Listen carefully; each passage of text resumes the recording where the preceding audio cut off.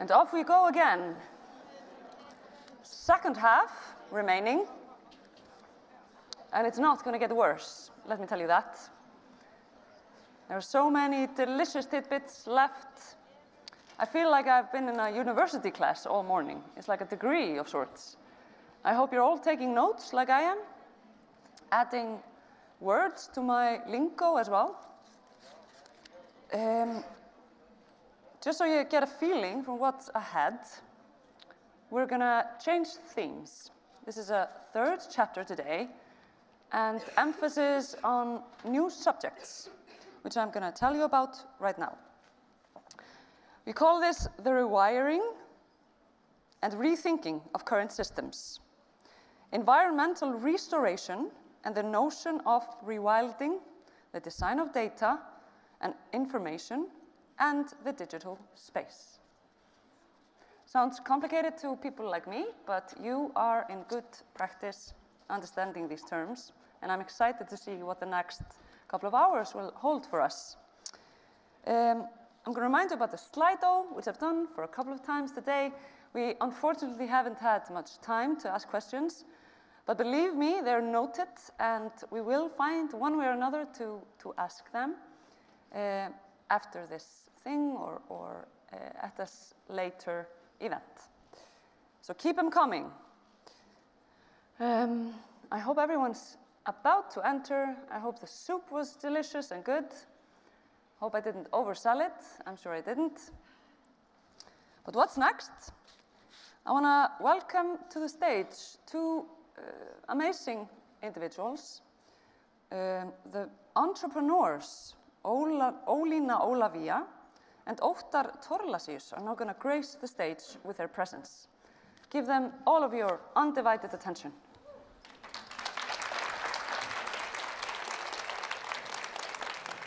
Thank you. Design today is not simply about making something. it is about changing something. It is not only about design aspect anymore. It's about rewiring and rethinking every aspect of daily life. Perpetuating a system of ubiquitous non sequiturs is vital in today's space of non-linear thinking. Who are we in the context of digital space? What is our responsibility as designers in a time of globalized conflict and nefarious systems of scrutiny? To answer these complicated questions, we decided to make the banana filter. the banana filter transforms the user into a banana, thus changing the user's outlook on humanity itself. Am I a banana, you might ask? no, I am not. But by using the filter, I can feel like one for a moment. Mm. When we look into the future, the most quintessential task at hand is counteracting the emergence of capricious corporations, thus creating a cacophony of chromosynthetic liminal spaces. to this day, our banana filter has been used by over 14 users. Mm. that means 14 lives have been transformed by our design. Amazing. And we've received multiple comments from one user who said, Wow, I thought for a moment that I was a banana. Thus demonstrating that our filter has changed his outlook on life. And therefore, we are proud to introduce to you the next revolution in the digital space. The, the pineapple, pineapple, filter. filter. the pineapple filter transforms the user into a pineapple, thereby solving the biggest problems we, we face as a society.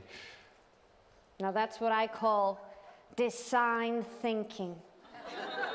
Thank you. Thank you.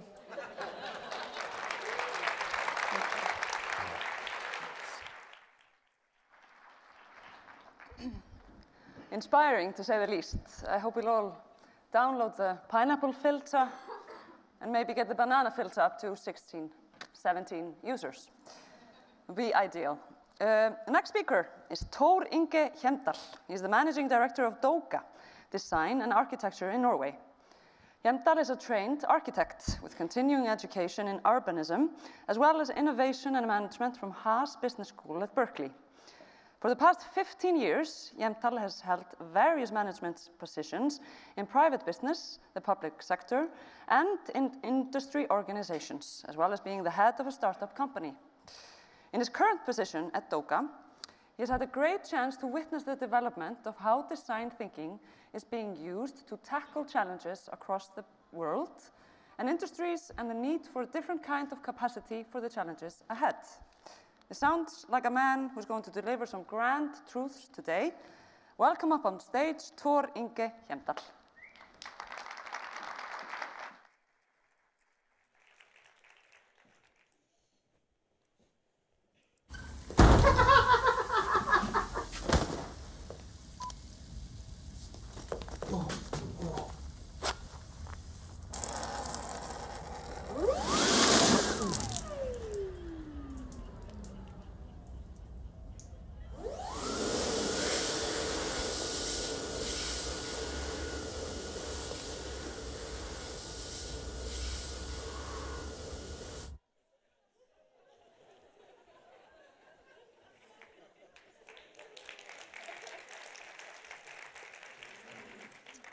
Ideas, ideas fail.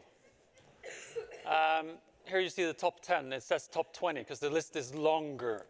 But this is the top 10 list why startups or ideas fail. I put uh, red arrows in front of uh, where I think design can make a difference and make sure that you don't fail. But look at the top one, no market need. 42% of the startups or the ideas, they fail. And also, if you look down the list, you see user-unfriendly products. And that says a lot. So it's not enough to have an idea. This is from Oslo. Um, this is the, the ticketing system uh, in Oslo. And to the left, you see the ticket kind of booth or teller. Um, they spent, hold your horses, they spent 50 million euros on this system, developing it, installing it, building it. Now they're going to tear it down. They never, they've never used it. Nobody used it. Because before they were done, the picture to the left, oh, to the right appeared, an app. They never asked the user what the user wanted, or the customer, or the inhabitants. They just developed this instead of checking with the user. This is the, like a typical design process. And number one is vital. Understand the challenge. Uh, this is what we say at Doga, uh, as you see on the bottom. If you have an idea, you've gotten too far already. So you have to understand the challenge, define the focus, but you've got to get out of your office, get out of the building, ask the, the user, do the user studies, talk to the inhabitants, talk to the customers, talk to the users. And then you have to translate these findings and sort and validate, and then you get to the, to the idea and choose your concept. So it's a lot of work before you have this idea, and that's why so many people fail. At Doga, uh, we, have, we have numerous kind of innovation programs. I just want to kind of explain to you that design actually works. This is a widely known uh, project example that we, uh, it's been used in the EU uh, and internationally as well.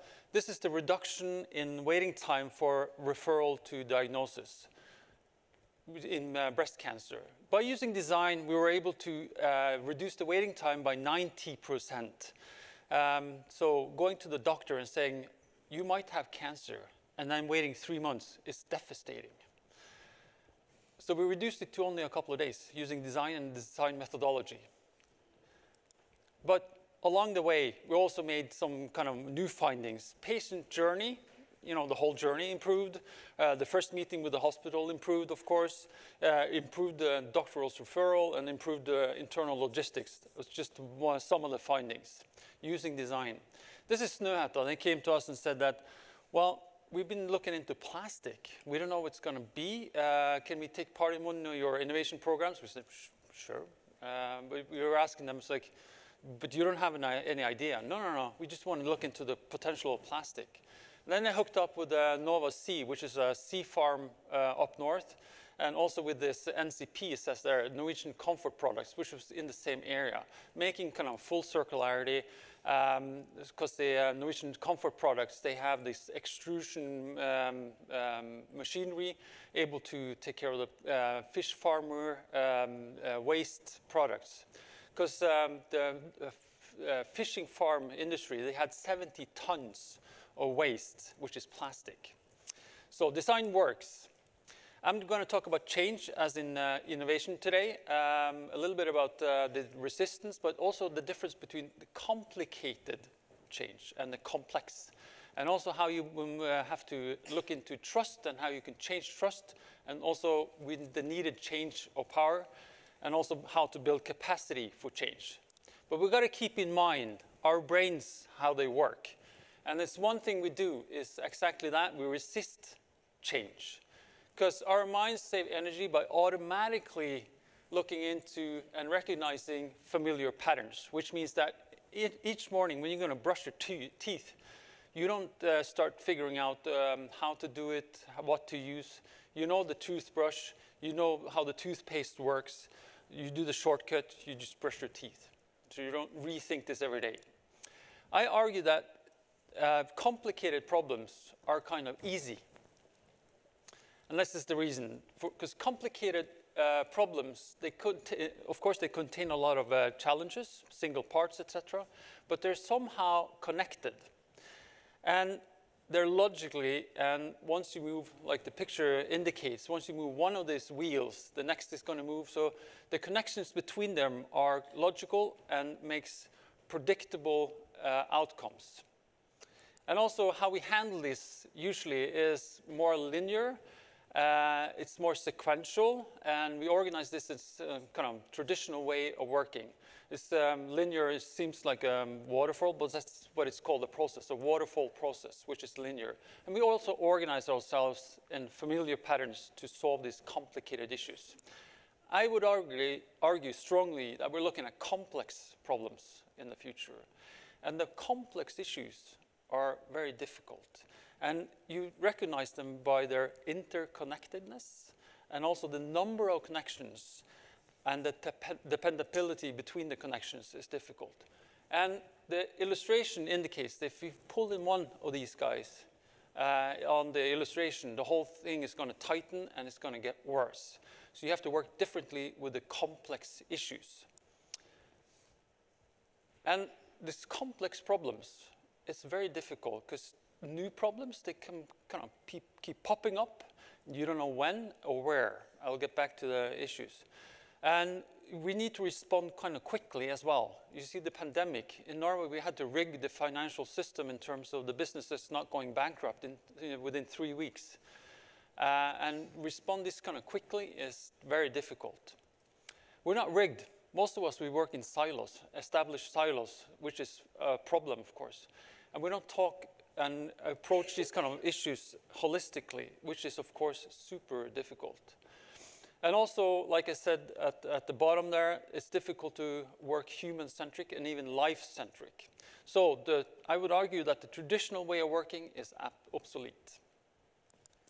But we see some shifts going on right now, which um, at least in Doga, we're embracing these um, kind of shifts going on. So we see that most businesses, they go from profit over to purpose. So they work value-based in a, uh, in a different way than uh, previously. We also see that the, the hierarchy more and more is being left behind. They don't work in that way anymore. We need to work the network-based and also uh, in terms of uh, you can't uh, control the employees, you have to empower them. Like I'm saying at Doga, I can't tell you what to do. I'm gonna, we're gonna discuss where to go and then you got to figure out what to do. So that's a different way of leading and the leadership as well. And of course, we're working, you can't plan everything. That's also left behind. You can't plan your way out of it. You have to experiment and figure out how to do it. And also, this open innovation, is, I'm going to get back to that.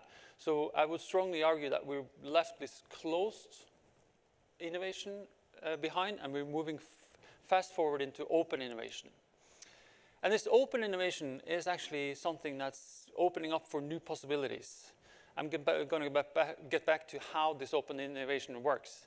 But we need to work together in collaborations. And most companies, they realize now, if they're going to do innovation and, and work with change, most of the knowledge is not within the, their own company.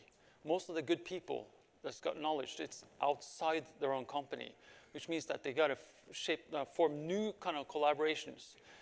And of course, there's some advantages with this. The um, expenses are lower in the innovation process. You distribute, distribute risk, and also you make more accurate assumptions. But this is a competitive advantage, I would say, for Norway, but possibly also for Iceland.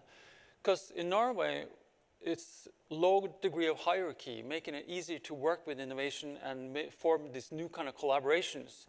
And also, we have a high degree of trust in Norway. And that's essential to form these kind of new collaborations and also allow for innovation and ideas to flow in a different way. And also, Norway is small, like Iceland. So the distances are short, which makes it also easier to work in, in collaborative way. And we also have, as the, um, the diagram indicates, we have a huge share of SMBs, meaning small and medium businesses. And being small is an advantage because then you can uh, form these kind of collaborations in, in, different ways. So we're moving from closed to open innovation. And this is this kind of the same, follow the, um, the green dot there, but uh, that's where the innovation um, uh, goes on. So on this one, it goes on within the company. And that's what I call close and internal innovation. We're moving over to this side to solve these complex issues, we need to work in a different way, and we need to organize ourselves in a different way. So this is the green dot there in a big ecosystem, trying to solve these unforeseen complex issues ahead. So it's all about going from not reducing and uh, uh, uh, only ask the quick questions and have the quick answers, but to opening up for new uh, opportunities the simplification is left behind. You have to embrace this complexity and uh, understand this uh, in a different way, common holistic understanding. And also the chaos and the sector focus we need to leave behind, and also these fixed or locked in assumptions. Uh, we need to open this up and have transformative learning. This is uh, just an example we're working with right now. We organize this as a mission. Some might have heard about it, but it's a very complex issue and that's seriously ill child. This ill child and the family, they don't care too much how the state has organized themselves, how the municipality has organized themselves, how the hospital has organized themselves. They need help.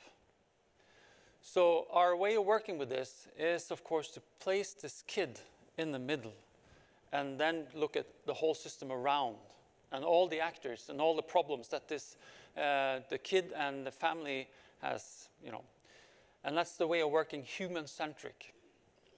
Uh, we got feedback now from the family. They never experienced this before. Uh, they feel understood, uh, taken care of, etc. But it's a huge effort for the municipality because this family before, they had to approach eight to 10 different actors to get help.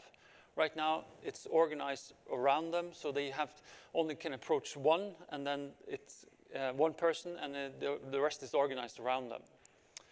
We see that, of course, this uh, example gives challenges on uh, uh, the different levels.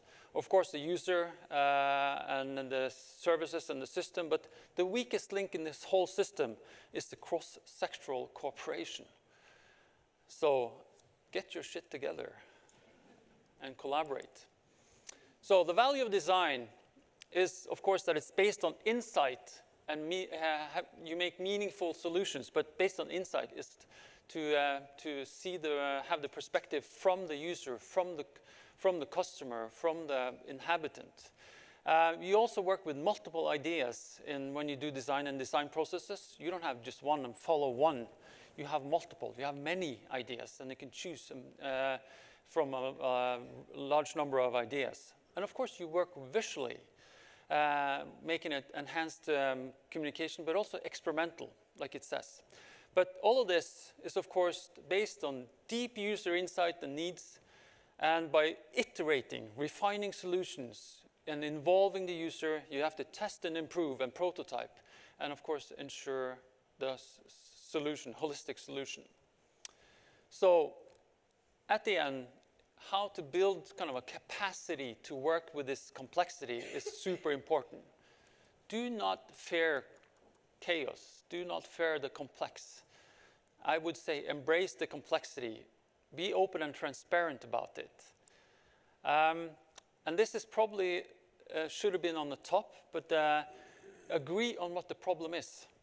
We see so many times that people start working, you know, big projects, big building projects, big projects.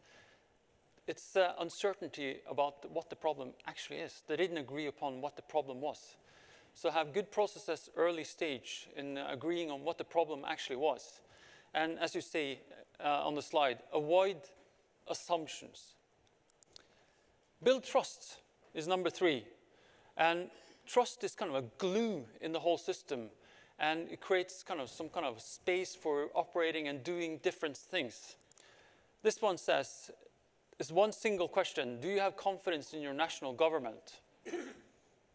70% in Norway, they do. I'm sorry, Iceland is not on this. I don't know why. I didn't do the survey. but it gives us an opportunity to work together in a different way, have different contracts, different agreements, and this trust is actually the glue, and it gives us a competitive advantage. Just look at the United States. Only 35% trust the national government. It's terrible. So build trust when you're going to work. And also build a rig. And I would call it, uh, call it kind of an ecosystem of different actors, different competences, because you're going to face the issues are going to be different than you thought at the beginning, and they're going to be more interconnected, in, entangled, uh, and complex. So you've got to be a number of actors um, uh, heading in the right direction, in the same direction and also facilitate for iterative and adaptive way of reaching the goal. So the goal is not super clear because it's going to be clear when you start working. Almost the last advice, let go of power. Working in a non, uh, not in a hierarchy, in a traditional hierarchy, you need to trust people, but you need to empower them. So let go of the power. You'll be double uh, as resource, resourceful afterwards. But this is my single most important advice. Right answer to the right question. We see so many times that it's the right answer to the wrong question. And that's, uh, as it says on the bottom, if the problem is not understood, the solution might end up being the problem. Thank you.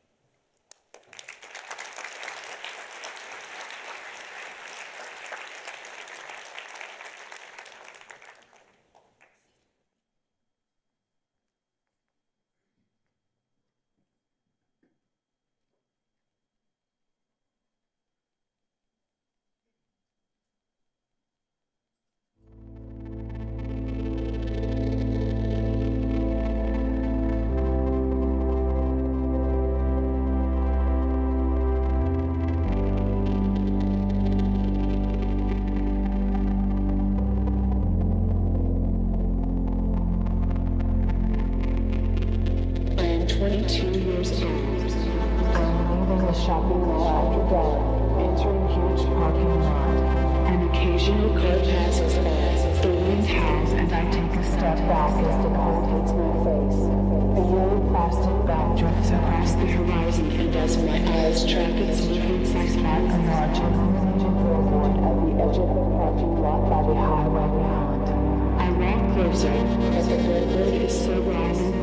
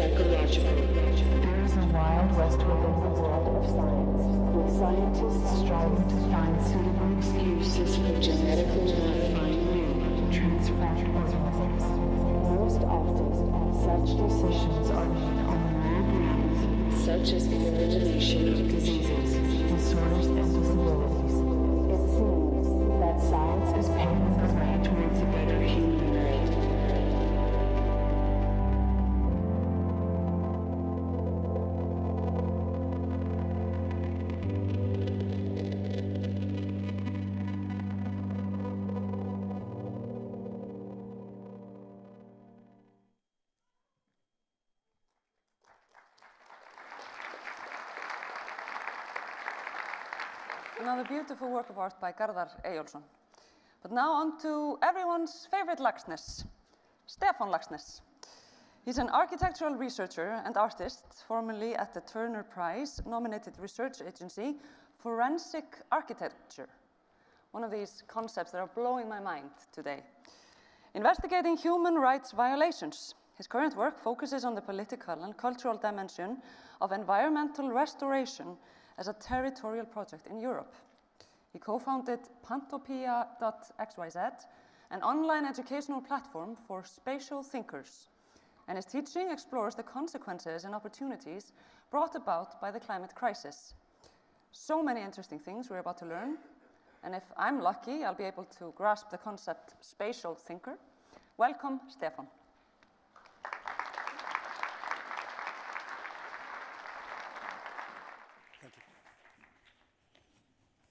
Hi.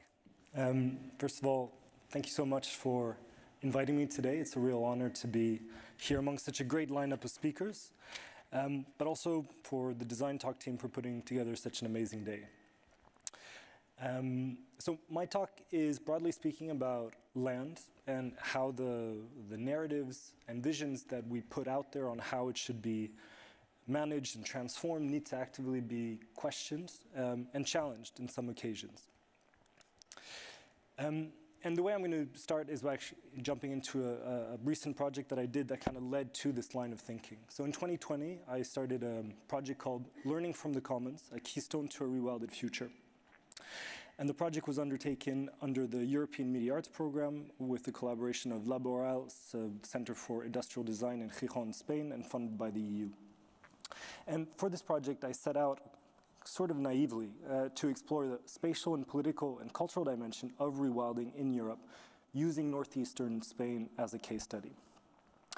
And just a, um, a, summary, rewilding is, is a practice of environmental restoration which advocates for the reintroduction of keystone species to passively manage the land and the ecosystem. So this typically means including large herbivores or predators and minimizing human involvement, as well as also restoring certain ecosystem processes that have been uh, eradicated.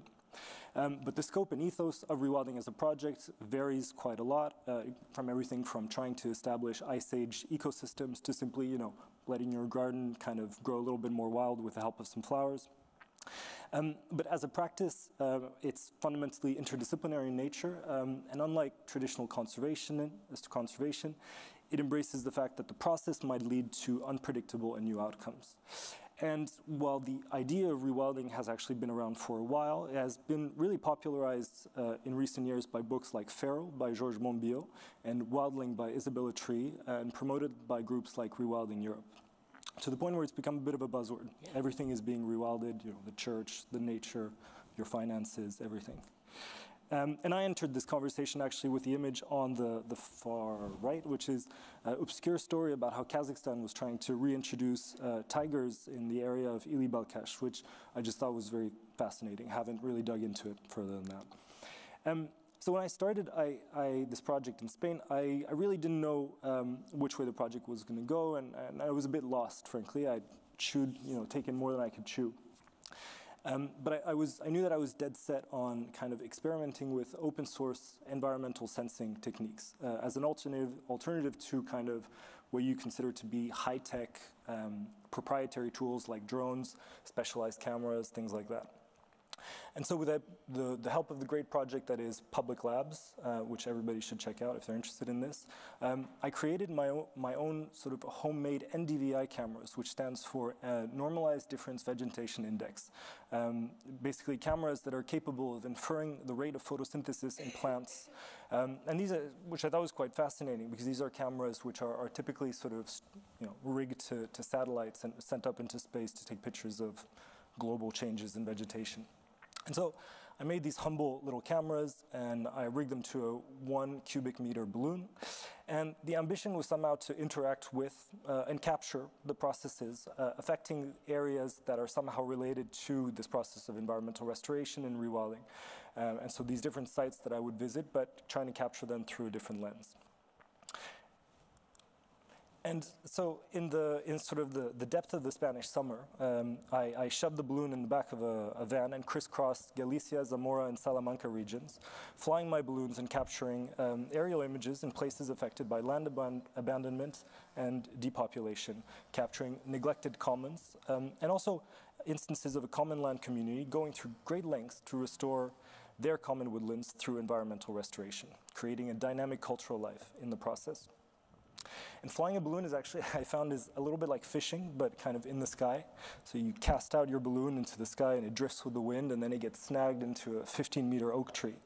Um, and, and when you're by yourself in 37 degrees in the Spanish sun, um, and you try to you know, unrig it from a, a, a, oak tree, it's really difficult, and I really thought I was going to collapse on one of those days. Always bring a friend when you try to do things like this.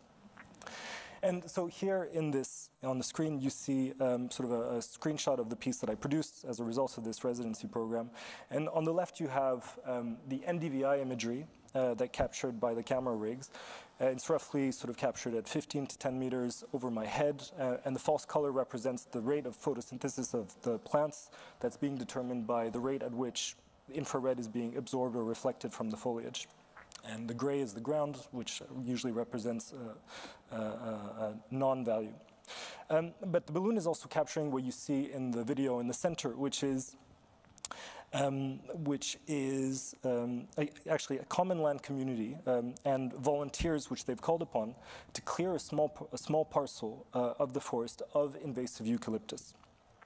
And to the right, you have a series of photographs recording the visible traces of their restoration efforts and, inter and interviews that I conducted with community members. And so while the whole NDVI thing was really fascinating, it didn't really help me much. Um, and, but the, the balloon really became an interesting device with which to navigate and negotiate with people. You know, it's sort of inviting, it has a dimension of play, but also as a, as a performative device to actually start to engage with and sort of be more fine-tuned with the, the, the terrain, the composition of what was there, and, and the environmental conditions of the sites. Something that I refer to as sort of uh, near sensing, as a, in opposition to the more God's eye high-tech proprietary view that comes from remote sensing, sort of satellite images and all that. Um, and the experimentation and the, the, the, exploration led to, you know, this interesting foray for me in my practice into, you know, the performative nature of the balloon and, and the act of walking. Um, but also, you know, a fairly, I think, solid sort of documentation of the social spatial practices that have to do with, you know, what happens when communities on a low budget start to restore a piece of land. Um, and in this case here that we see on the screen, it was a village where 18 inhabitants um, in Galicia had taken substantial steps to transform their commons um, and to ensure the long-term environmental and economic sustainability of their woodland, restoring degraded peatlands, planting native species, and creating fire barriers. And to support this long-term process on a budget, the community had to do exactly what you see there, which is um, engage in uh, participatory action and revisit ancestral practices. And this included regularly calling upon a network of 800 volunteers um, to clear parcels of land, um, and also creating educational programs and inviting people like me, you know, strange artists, people, uh, you know, with balloons, to kind of interact and and and uh, and and learn also from from what they were doing. Um, and and these these actions also, I think I noticed, like became really important. Also, moments for people, forums for people to discuss matters of concerns around rurality.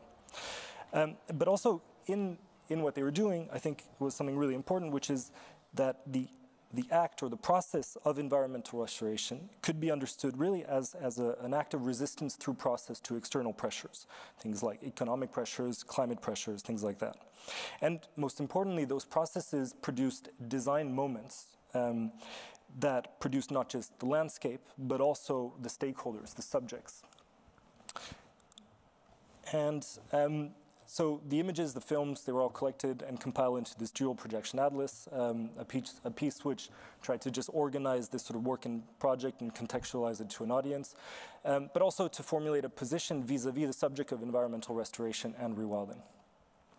And while witnessing this collective action um, in, in this common land community, I came to the following conclusion, that although the, the community, I think, was implementing something that could be considered sort of the proto phase of rewilding, um, the nature of their project kind of stood in strong and stark contrast to the narratives, ethos, and initiatives I encountered in pro rewilding literature.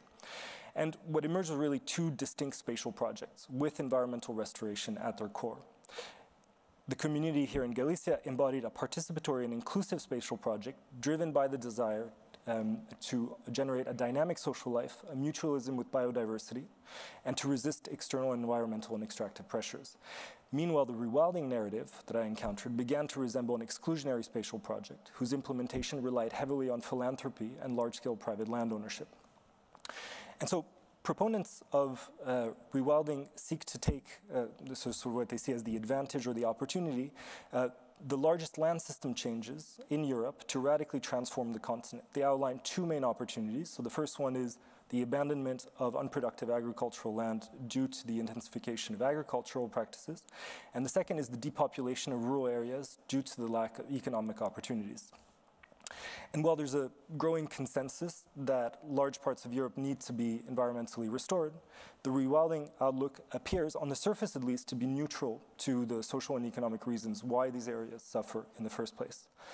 Then the image that you see on the slide here is pulled from a pro-rewilding website. And I think it perfectly encapsulates, um, or one can interpret, at first what seems to be that neutrality, and as we'll see later, is maybe a, a more kind of insidious vision for the future. Insidious is a hard word, so I apologize. Um, the, so the image, what does it show? It shows uh, the Coa Valley, which straddles the Spanish and Portuguese border. And um, it is now a fully rewilded area. It's an area with an abundance of large herbivores, predators, and smaller species, all living in harmony. And it's a scene that's kind of reminiscent of, you know, um, of the Serengeti or, you know, Jurassic Park. Life will find a way, that scene there in the end. Um, and in the far back, if you pay attention, you see this little relic. Uh, it's like a small village, maybe a water tower. We, not, it's not really clear. Um, and it's sort of, I don't know, the way I interpret it is kind of the evidence of past human inhabitation. But more importantly, in the center of the, of the image, uh, there's this very little detail, which is uh, a tourist temporarily visiting and experiences, experiencing this new, newly rewilded and big outdoors in this little tent. And but if you actually go to, you know, what, what this, what this image doesn't actually uh, portray is uh, that the area is actually completely different in reality. It's a, the Douro River is a dammed hydroelectric, hydroelectric power station. So it's an energy landscape. It's a network of roads. Um, it has cables, it has villages, it's connected, there, there are people, uh, there are businesses. Um, and so the area might be depopulated and the agricultural land in the process of abandonment. Um, but uh, it is fundamentally an inhabited and working landscape. And human inhabitation in, the, in, the, in this depiction of rewilding, um, it stays sort of outside of the frame of that vision. And instead, it frames this new land occupied by new subjects. And through, I think, uh, th so through the literature and site visits that I, I, ended up doing, I found that rewilding branded initiatives were either kind of remained sanctuarized, often a, crit a criticism of traditional conservation, privatized, or had exclusionary qualities like lack of transport, rural gentrification, exorbitant house prices, or tolls. Um, on the slide here, you see Britain's largest rewilding initiative, or one of them anyway, called the, the Studland Hartland Moor. And uh, what's interesting about it is that you know it, it is actually cut off in that ferry crossing area. They could have built a bridge, but they didn't. Um, to Bournemouth, which is a large metropolitan area where people could actually easily access and enjoy this site. The rewilding area also seems to host the, the largest onshore oil field in Western Europe, which is an interesting thing to have in the middle of a rewilding area. Um, and, and the, if you wanted to live in the area, all the mansions seem to cost two million pounds. So needless to say, wanting to engage and interact with it um, becomes inevitably kind of touristic or, or uh, an, an, act of privilege. And if, as you can see, I, I read The Guardian. Um, but if you, following kind of the, the story of rewilding, I've been kind of charting different stories about it. And um, in recent news articles, anyway, in the UK, there's clearly a narrative that emerges that kind of large UK landowners will pioneer rewilding for the greater good. There's this heroic pose here that you see by this baron who owns thousands of acres of land, and we are expecting the royal family to take on this great task. Um, the, the, the Knepp estate uh, with Isabella Tree, who actually wrote the book uh, Wilding, is another example. Here you have sort of the image of, you know, the landed aristocrat taking on this progressive project. Um, and on the, on the right, you have a bit of a tangent of a story, but they're actually in a conflict with uh, developers uh, who are building housing right next to their, their rewilded uh, initiative. Uh, and it's blocking a future ecosystem corridor. And what's interesting about the story is really it's an instance in which uh, two crises are playing out and coming into conflict in rural areas. The first is the ecological crisis, and the second is the housing crisis. But in both, both cases, the projects uh, involved are actually, you know, they're not necessarily being pushed by, you know, an interesting progressive committee of institutions and people who are making necessarily good decisions, but they are being pushed by essentially those that probably stand to or have, you know, stand to gain the most from sort of uh, these processes of accumulating land and accumulating capital through housing. And then it goes a step further. In the book um, titled Rewilding, um, The Radical New Science of Ecological Recovery, uh, the authors introduce the readers to the ethics uh, and science of rewilding, which is fascinating and really exciting. But when it comes to discussing references to precedents and to optimal management models, they almost exclusively draw from private and philanthropic ventures, which embrace essentially the privatization of land and wildlife. At no point is there really um, any talk about any other type of vision for how land should be managed. And it's important to point out that the book itself is co-authored by members of Rewilding Europe Supervisory Board. And Rewilding Europe is uh, really the most visible and vocal proponent for the project of rewilding in, um, in Europe. Um, and it boasts pretty strong sort of governmental and, co and, corporate partnerships. And as we all know, you know, um, you know, they, well, first of all, they, they often cite strategies that, inscribed, that are inscribed in the logic of uh, market capitalism without seeking to challenge them. And as we know, you know when you get to uh, you know, sort of um, carbon offsetting and, and rabid afforestation, that actually can lead to more environmental problems um, than we had in the first place.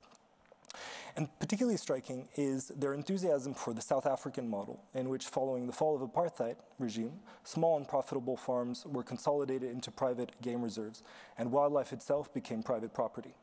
And I think, you know, mentioning that and being enthusiastic about that as a project should be maybe an object of concern. And I think there is a lot at stake, actually, because today uh, there's almost a quarter of EU citizens, four out of five EU citizens that live in urban areas. Um, and it's estimated that by 2030, there's going to be 200,000 square kilometers of land, agricultural land, at high risk of abandonment, which is an area roughly the size of, of Romania. So it's a lot of land. Um, and it's sort of well documented at this point that um, the presence of people practicing a plurality of practices leads to often a better stewardship of our, of our environment and ecosystem. And as a member of the community of Froxán uh, sort of puts it really clearly, um, rural depopulation serves the land and its resources on a silver plate to extractivism, be it mines, wind farms, or industrial forest plantations like eucalyptus. The less people there are in an area, the less structured, the more impoverished and older local communities are, the better it is for business. In conclusion, inhabitation and local autonomy are key to a diverse, dynamic rural condition. Here you have pictures of what a collective action looks like and how it becomes really a forum for sharing not just food and drinks, but also ideas and concerns. And um, when, um, the, when influential and vocal groups outline and advocate for a vision of the future, we should, I think, pay attention to it.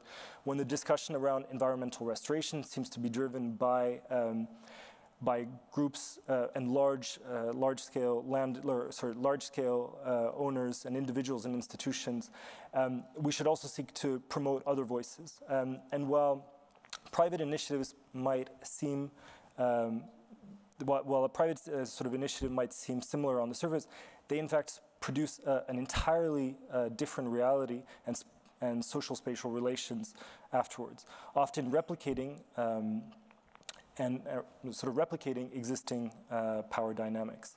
Um, and the, the um, sort of, to, I mean, the act of rewilding itself is not problematic, but it, but it becomes so uh, when it is not challenged and the, conti- and the sort of the condition of capitalist accumulation, which it inscribes itself, is not being challenged.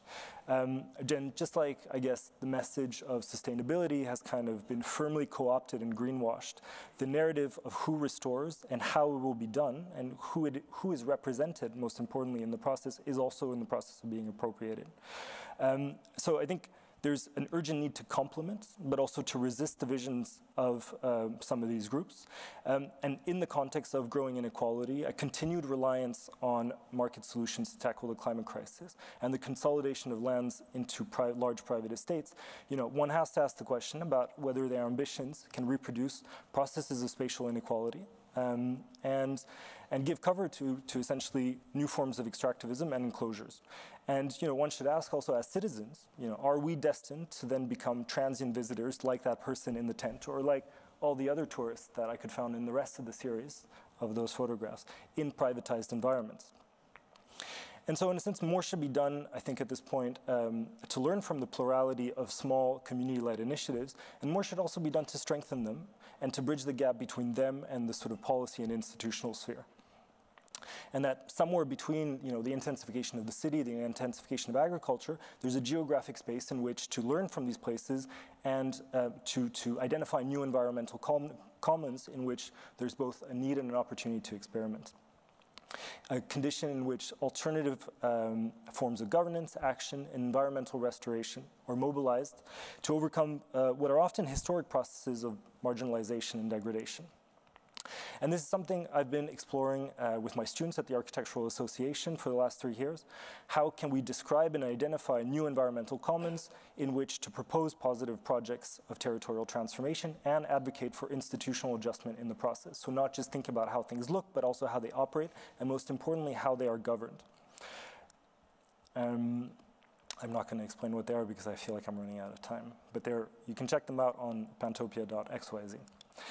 Um, and finally, it also asked the question as to, you know, how can the architectural proposal become a vehicle to uh, not just, you know, work through these problems, but to connect and, and, and present these complex territorial processes into sort of polemicized projects. And I'd like to use my last minute uh, just to plug something that I've been working on. Um, so uh, this summer I'll be co-teaching with uh, Oskar Arnarsson here in Reykjavik, a summer program called AA Visiting School Iceland, Fish, Football, Political Ecology. Um, and um, it's a two-week course, intensive course, where we'll explore the link between resource extraction and cultural institutions in Iceland. And it's part of the Architectural Association's Global Visiting School program and held in partnership with Listaháskóli and uh, Kex Hostel, who has kindly offered to host us.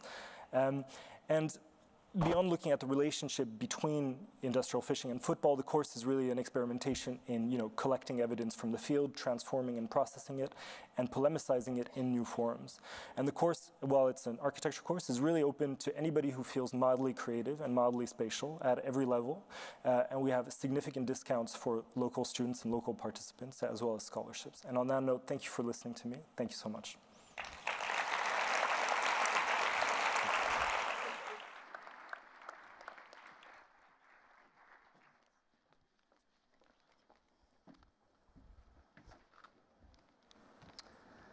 Thank you, Stefan. Very strong lecture and hopefully made us all think, like other lectures today. Uh, and now onto something completely new. I'm introducing two new individuals up on the stage. They're actors, performers, artists really, dear friends, creative minds such as yourselves, uh, members of the acting stand-up group Canary. Uh, let me welcome Steiney and Guðmundur Felixson up on stage.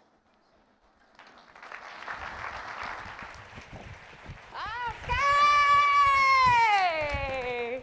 Hello, everybody! How are you feeling? Okay, we have the- to do this again. How are you feeling? So the organizers asked us to uh, yeah, move your blood a little bit. Uh, so we're gonna do a tiny little exercise yeah, with you. just a tiny don't yeah. worry. They asked for just a tiny, tiny little workout.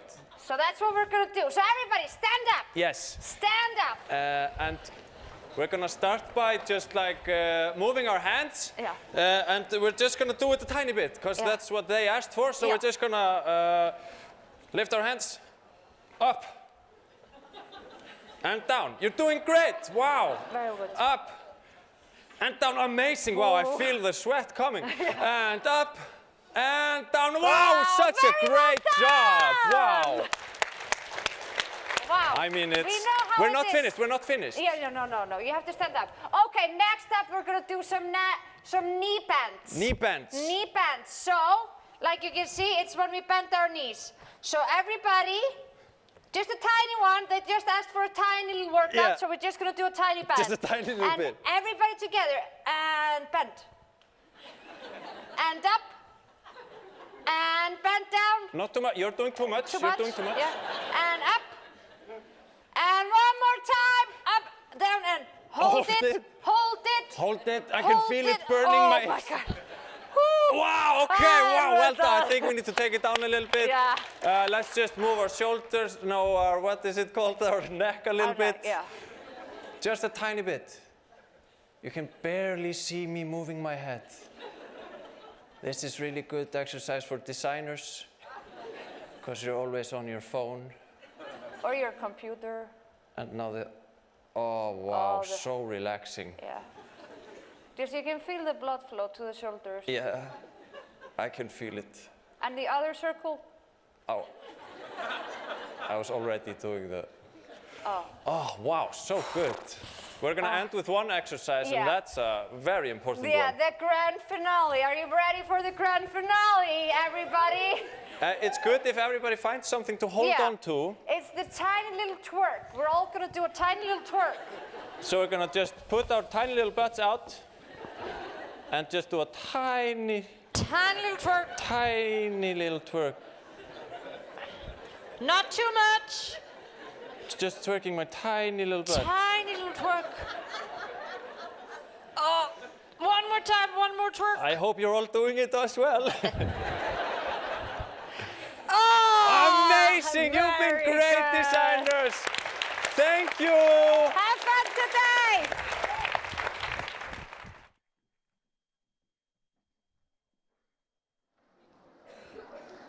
Just a tiny little twerk. Catchy. All right. Refreshing as well. And on to another refreshing event. We're going to learn about Universal Thirst, which is a type foundry that specializes in fonts for Indian and Latin writing systems, founded by Gunnar Vilhjálmsson and Kalapi Gajjar. The foundry has collaborated with brands including the Frieze Art Fair, Monotype, and most recently Google. The foundry's mission is to expand the design possibilities for India's various writing systems. Universal Thirst's work is a part of a huge advance in the representation of Indian writing systems, driven by the global spread of the internet and smartphones. And Gunnar and Kalapi will be joining a conversation with Marcus after their lecture. Let's welcome them on stage.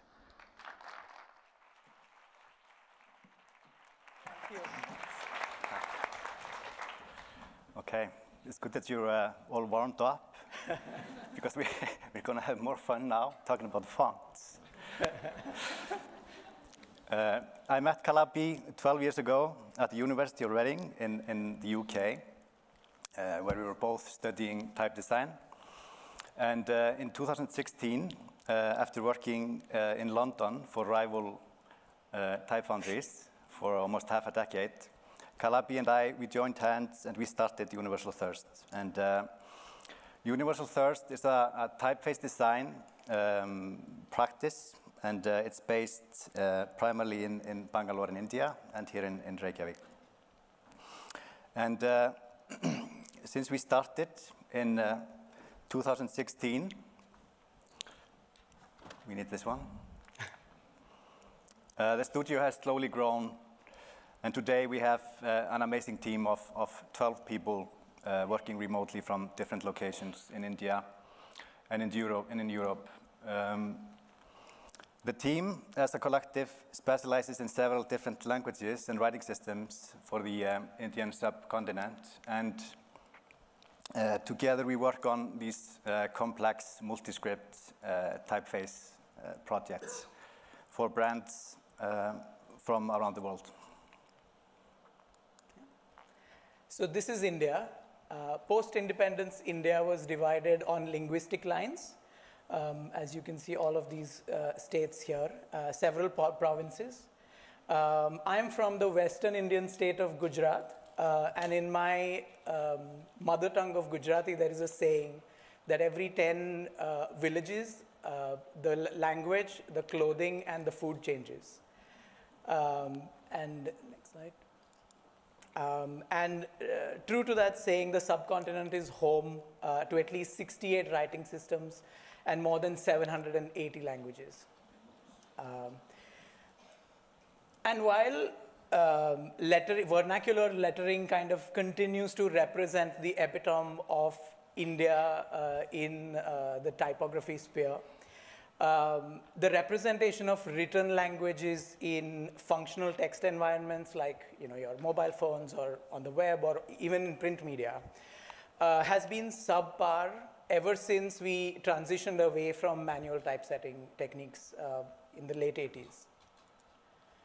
Uh, scripts from the subcontinent, uh, scripts from the subcontinent are fundamentally different in their orthography uh, as compared to the Latin script. The Latin script is kind of linear. Uh, most of uh, the scripts from the subcontinent are kind of non-linear, very complex. They have vowels kind of on top, before, above, after.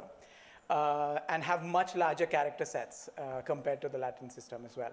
They also require a lot more specialized uh, training or skills from the typeface designer because it requires a lot more engineering to get a font file working correctly for all of these complex scripts. Yeah, and this, this problem is actually similar to uh, uh, what Icelanders know from uh, kind of the old days with computers. When we were trying to key in our names with Icelandic letter forms. So basically F, Thorn, and all these accented characters. So my name is Gunnar Thor. I would get uh, an FL in, instead of Thor. So I would be Gunnar Flor. uh, and imagine, I mean, these are just like a, a couple of, of letter forms for us. But in India, this was like all the writing systems. They were excluded from, from, from these platforms. Yeah. Um, and the cheap uh, introduction of cheap smartphones in the subcontinent has really changed the status quo for uh, you know the tech companies of the West. Um, suddenly supporting this really large group of individuals from you know traditionally underrepresented uh, parts of the world is kind of becoming a business uh, move. Um, and it all started at Google under a program known as uh, the Next Billion Users. And the Next Billion Users are essentially non-speaking, non-English speaking users that have access to all of these social media uh, apps and, uh, well, cheap smartphones and apps like Facebook and Instagram, uh, but they're all English only. Uh, the function, one of the functional ways to kind of bring this large group of individuals or kind of enable them to use these uh, systems better and kind of collaborate better uh, is fonts. Okay, so uh, the Swiss artist Luca Cenardi, he, he created this emotional creature under the influence of our uh, psychedelic typeface, Eli. And the word is uh, Araga, and it means beauty in Tamil. So he's shedding tears of beauty. and Tamil is the language spoken by 75 million people, mainly in the southern Indian state of, of Tamil Nadu but also by a large diaspora around the world. I'm going to get some water. Wait. Can you give me a glass of water? Well, the Tamil script is kind of traditionally monolinear. You can see the forms are kind of, they look like ballpoint pen markings. Uh, the manuscripts are uh, created on dried palm leaves, uh, which are very brittle. So the resulting letter forms are kind of round. You will never see a very kind of strong straight line because that cracks the palm leaf. Um, and once the, uh, and you use kind of a sharp metal stylus to kind of carve into the palm leaf. And once the carving is done, you take black soot from a lamp, like an old oil, oil lamp, like fill it in. And that kind of brings the letters, uh, you know, contrast to the palm leaves. so Tamil was first translated to typographic shapes under colonialism. And uh, uh, when they did that, they were using it, using it uh, along with these uh, Latin typefaces that had this like a modern style. That had like Scotch Roman and Bodoni.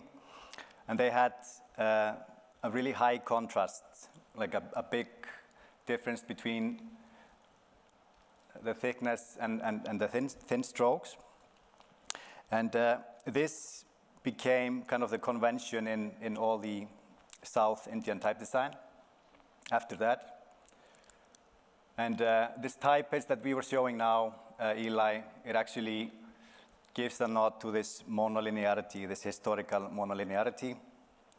However, the designer, Eli, of Eli, uh, Anaga, she was inspired by the 60s psychedelia and uh, she wanted uh, the letter forms to morph and transform, and uh, as a result, she, she made this like a nine different versions of it that can merge between bottom heavy to monolinear and all the way to, to top heavy. And it has this a variable psychedelic axis, basically, that you can animate through.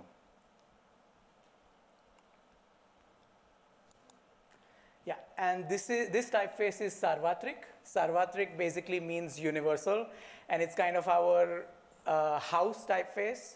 Uh, we intend uh, for the typeface uh, to support, uh, to eventually support all of the scripts of the subcontinent. Um, and it's, as you can see, a very neutral kind of all-purpose typeface that hopefully graphic designers can use in complex multi-script uh, you know, environments uh, while kind of making everything look uh, homogeneous. Uh, currently, Sarvatrik supports uh, Bangla, Devanagari, Gurmukhi, and Latin. Uh, and it also includes a wide range of weights. Um, and our, our kind of philosophy behind script harmonization is to kind of maintain the history um, and the kind of proportions of the original letter forms while trying to um, match uh, the overall texture and the feeling of the typeface rather than kind of force one script's individualistic shapes on another script. It, they're kind of one kind of idiosyncratic members of one large family, so to speak. Um, and with this, the Latin script supports 4.9 billion users. Uh, with Devanagari, Bangla, Gurmukhi, 600, 330 million users, we bring another almost a billion users into the uh, uh, into kind of the conversation. Uh, and then in early 2020, uh, Fraser Muggeridge Studio designed this identity for the Dhaka Art Summit uh, in Bangladesh. Uh, Fraser had already designed a typeface for the Latin script, for the English part of the identity, but, the, but had the idea to kind of create a Bangla companion because it's in Bangladesh and Bengali is kind of the national language in the script. Uh, the let Latin letter forms are desi designed to kind of represent seismic ac activity, and that's why they're kind of broken and shaken uh, and kind of introduce distortion. Uh, and he approached us to draw just a handful of letters um, in the beginning to match the title of the event, as well as some uh, important dates. Uh, but we soon, after working on it over two or three weeks, we soon realized that this deserved its own font. Um, and within a matter of weeks, it had over a thousand glyphs, and we were kind of adding more to it um, as we went ahead. Um, the single design, uh, the single uh, design was kind of just a single weight design. Mm -hmm. we included, we, which included multiple glyphs and kind of the, what you see here, the kind of smooth transition wasn't possible then because it was all part of the same family. So we kind of separated them on kind of a seismic or a distortion axis. So it goes from being completely normal to kind of haywire uh, to kind of represent that, um, yeah, that idea. Uh, yeah. Yeah, and you all, uh, you've seen this one here today. So this is one of our typefaces as well. and we've been working on this quasi-mono spaced typeface now for uh, on and off for five years. and uh, uh, it's thanks to, uh, yeah, it's actually uh, our uh, friends and collaborators, Studio Studio, who did the identity for uh, Design March and Design Talks, and they kind of brought in the typeface as well. And this is the only place it's, it's been used um, from the beginning in, in, in these five years. And since we started working on it, we've been expanding it as well. And now we have uh, a Devanagari for this typeface as well, along with um, uh, six, six new weights, basically. And uh, we've always felt that this typeface is, uh, belongs to this kind of a sci-fi uh, visual realm. And uh, so when we started looking for a name, we kind of looked into this, this realm and, and kind of looked, yeah, to the skies, I, I, I guess. And uh, in 2014, um, there was this interesting interstellar object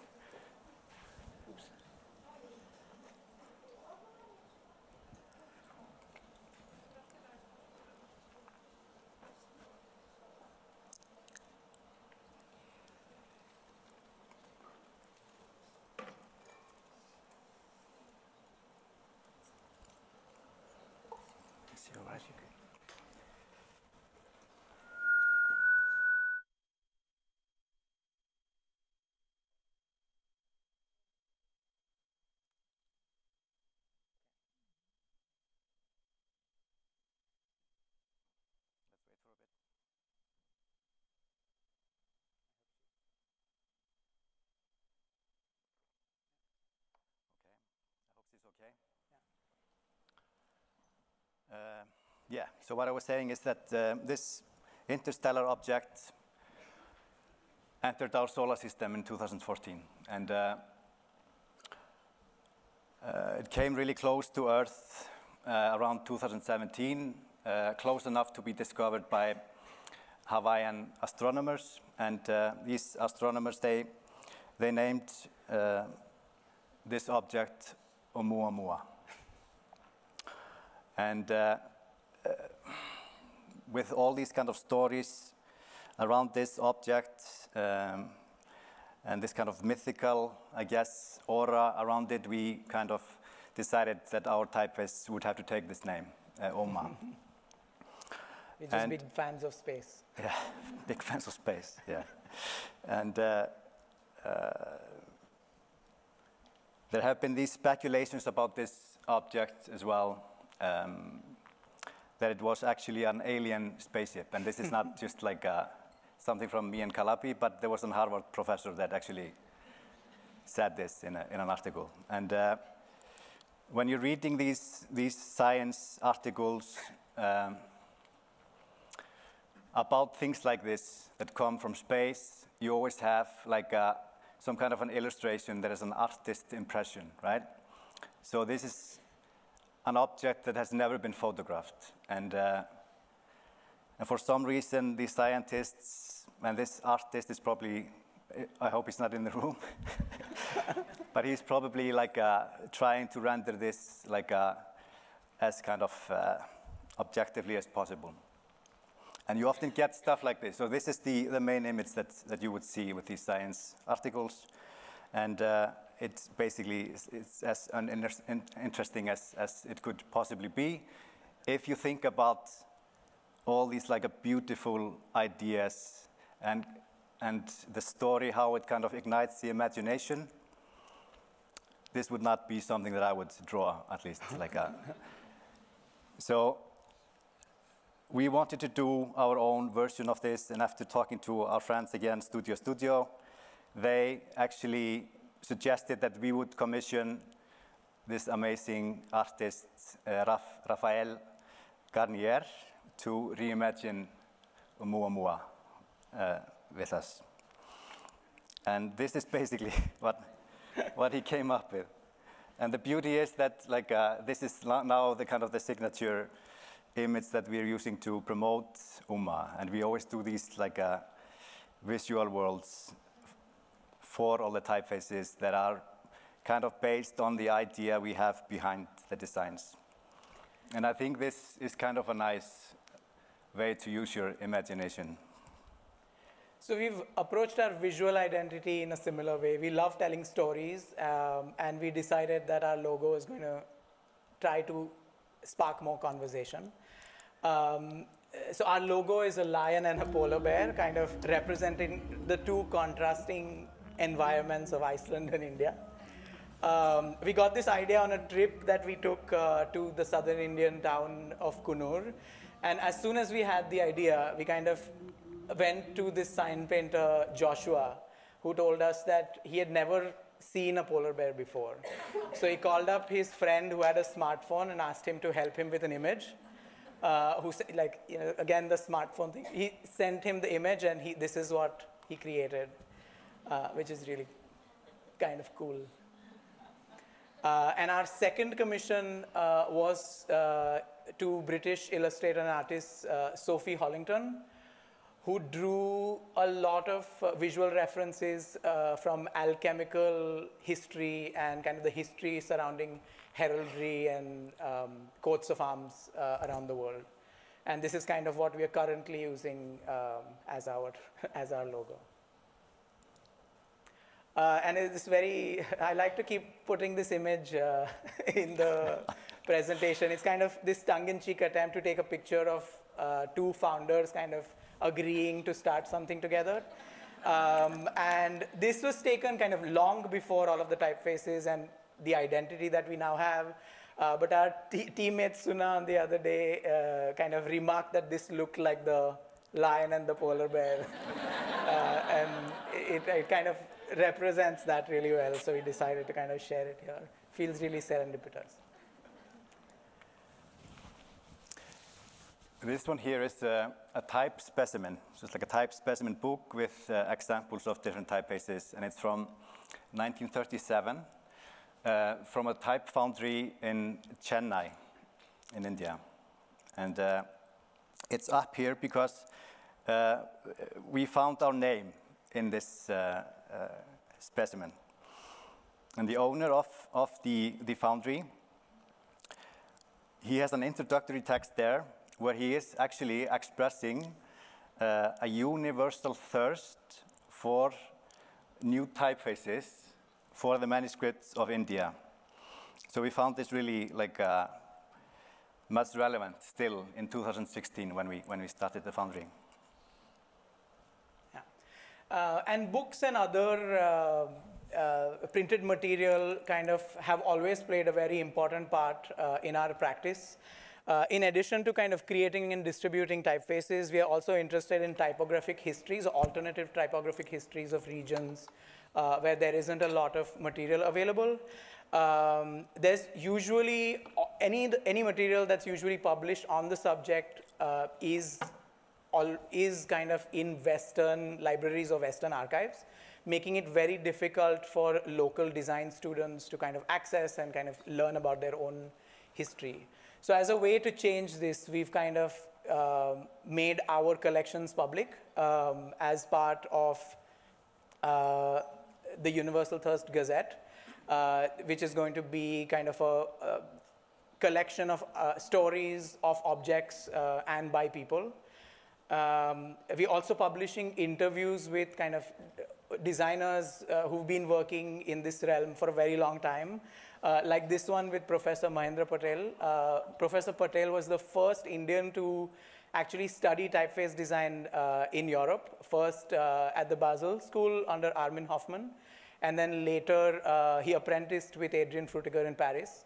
Um, and uh, Frutiger kind of exchanged Professor Patel's knowledge of the Devanagari alphabet, or he exchanged, he made, he kind of made this deal with him in exchange for Frutiger making pasta while uh, Professor Patel lived with him in Paris.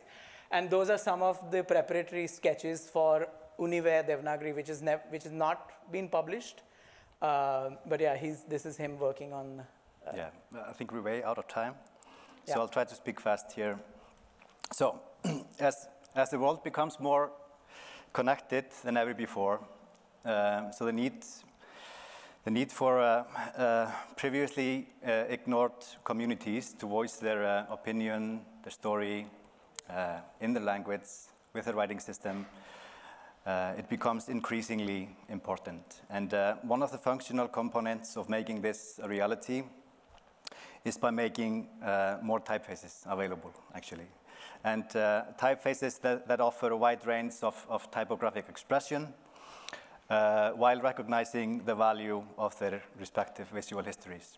And this is kind of what we are, we are working on at, at Universal Thirst. And uh, in uh, 2020, uh, we were going to have an event here at Design March where we're going to open like a font library and a new website. And uh, of course, nothing really worked out in 2020. So we ended up like uh, having to postpone it, and uh, uh, we, we are actually quite uh, happy to announce that we've managed to get out our library of fonts from today. And uh, now you can all, after this lecture, go home and buy some typefaces. Thank you so much for Thank having you so us. much.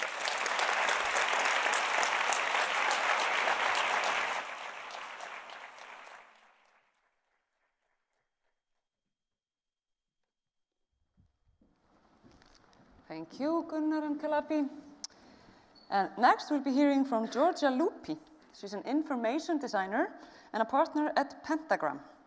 Advocating for data humanism, Lupi's work synthesizes data and storytelling in an innovative way to create unique and singular brand expressions. In her practice, she designs engaging data-driven visual narratives across print, digital, and environmental media that create new insight and appreciation of people, ideas, and organizations. and she'll be joining Gunnar Kalapi's talk uh, after her lecture. Let's welcome her on stage.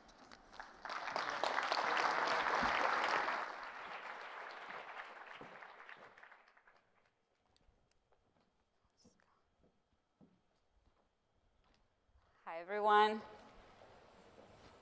Just see if it works. Should work. Hello, hi. I'm really, really excited to be here. Uh, this has been really incredible up until now, so it's really, really great. Thanks to the organizers for making it happen in person. Uh, my name is Giorgia. Uh, it's my first time in, in, Iceland, even though I'm European, so it's a long overdue. I'm Italian originally, but I've been living in New York for the past 10 years. Um, and so I titled this talk, Making with Data. And what I hope is that in the time we have together, I can make you look at the intersection between data and design in an appealing way, and to make you start seeing data as a material, like typography, words, and images to tell all kinds of stories. And also maybe through this lens, perhaps to start thinking about data in general in a, in a, in a different way. But, you know, let's see. Uh, but let me stay, uh, take a step back. I define myself as an information designer, so I work with data every day. And that means that every day with my team, I shape and design the different ways that my clients and their clients access all kind of information, and particularly in my case, data. So data that can be quantitative or qualitative, data that organizations already have, or also actually the most of the time we help crafting with my team and in collaboration with our clients, and data that we then represent visually, translating these numbers into images through data visualizations and through building interactive experiences with these visualizations. Uh, I'm a partner at Pentagram, which is an independent design agency made of 23 partners. I joined three years ago in their New York office. And Pentagram, the company that I joined, is traditionally known for brand identity design, so logo, word marks, but also packaging, editorial design, book design, exhibition. Maybe you recognize some of these logos and previews that have been designed by my partners even long before I joined.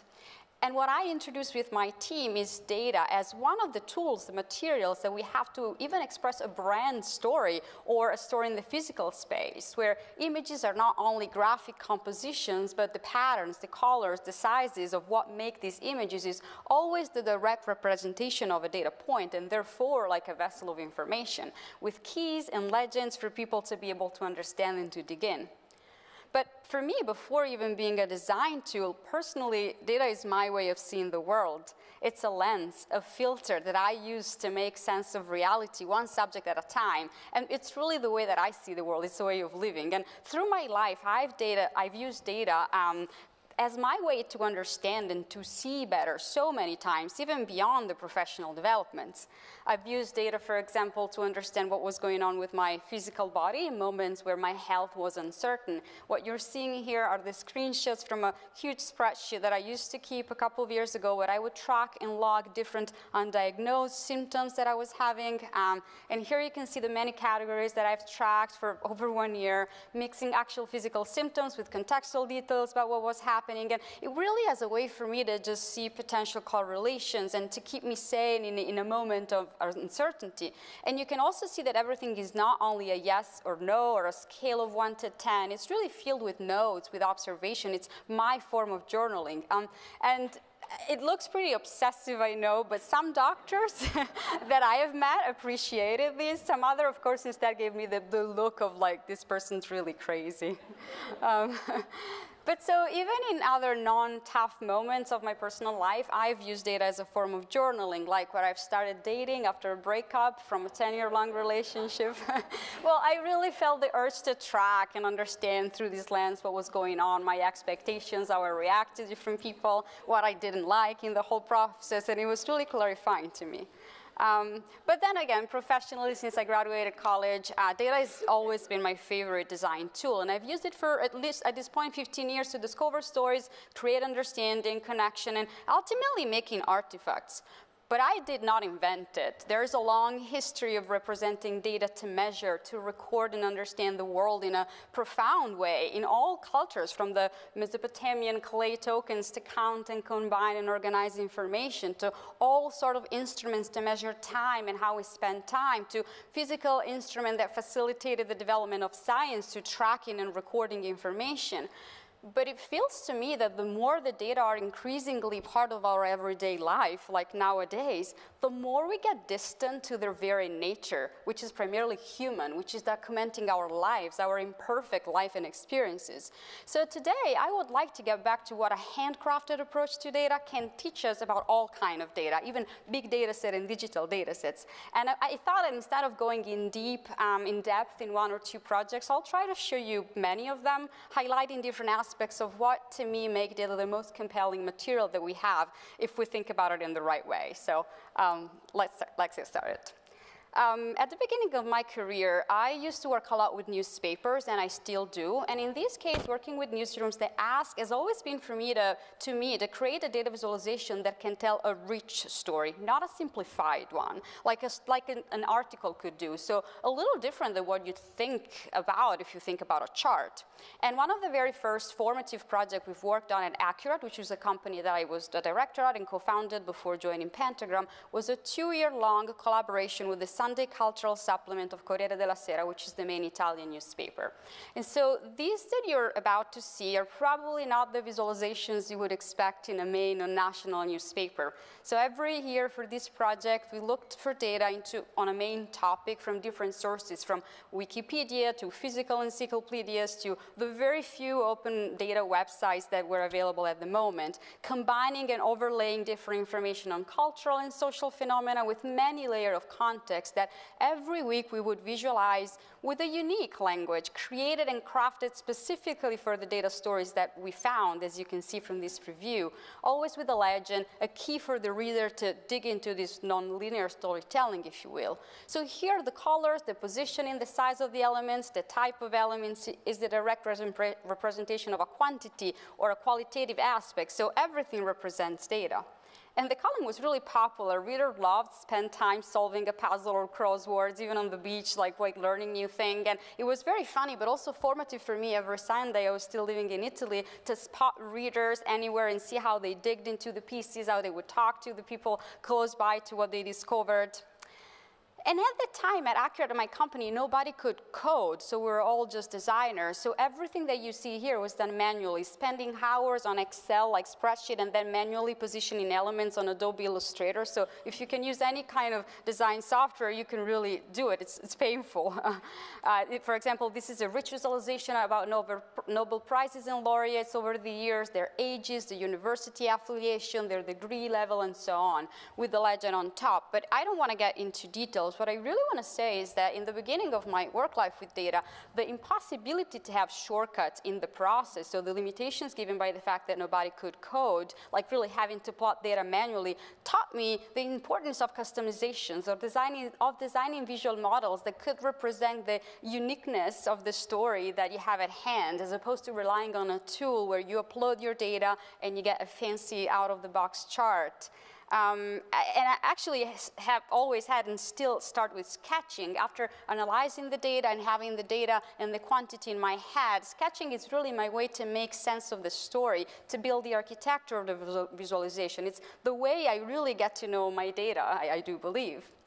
Um, I do still work with newspapers, even though more, a little more rarely these days. And more and more, what I'm trying to do in this context is crafting stories through data where people can perhaps see themselves in there, can relate to something through data.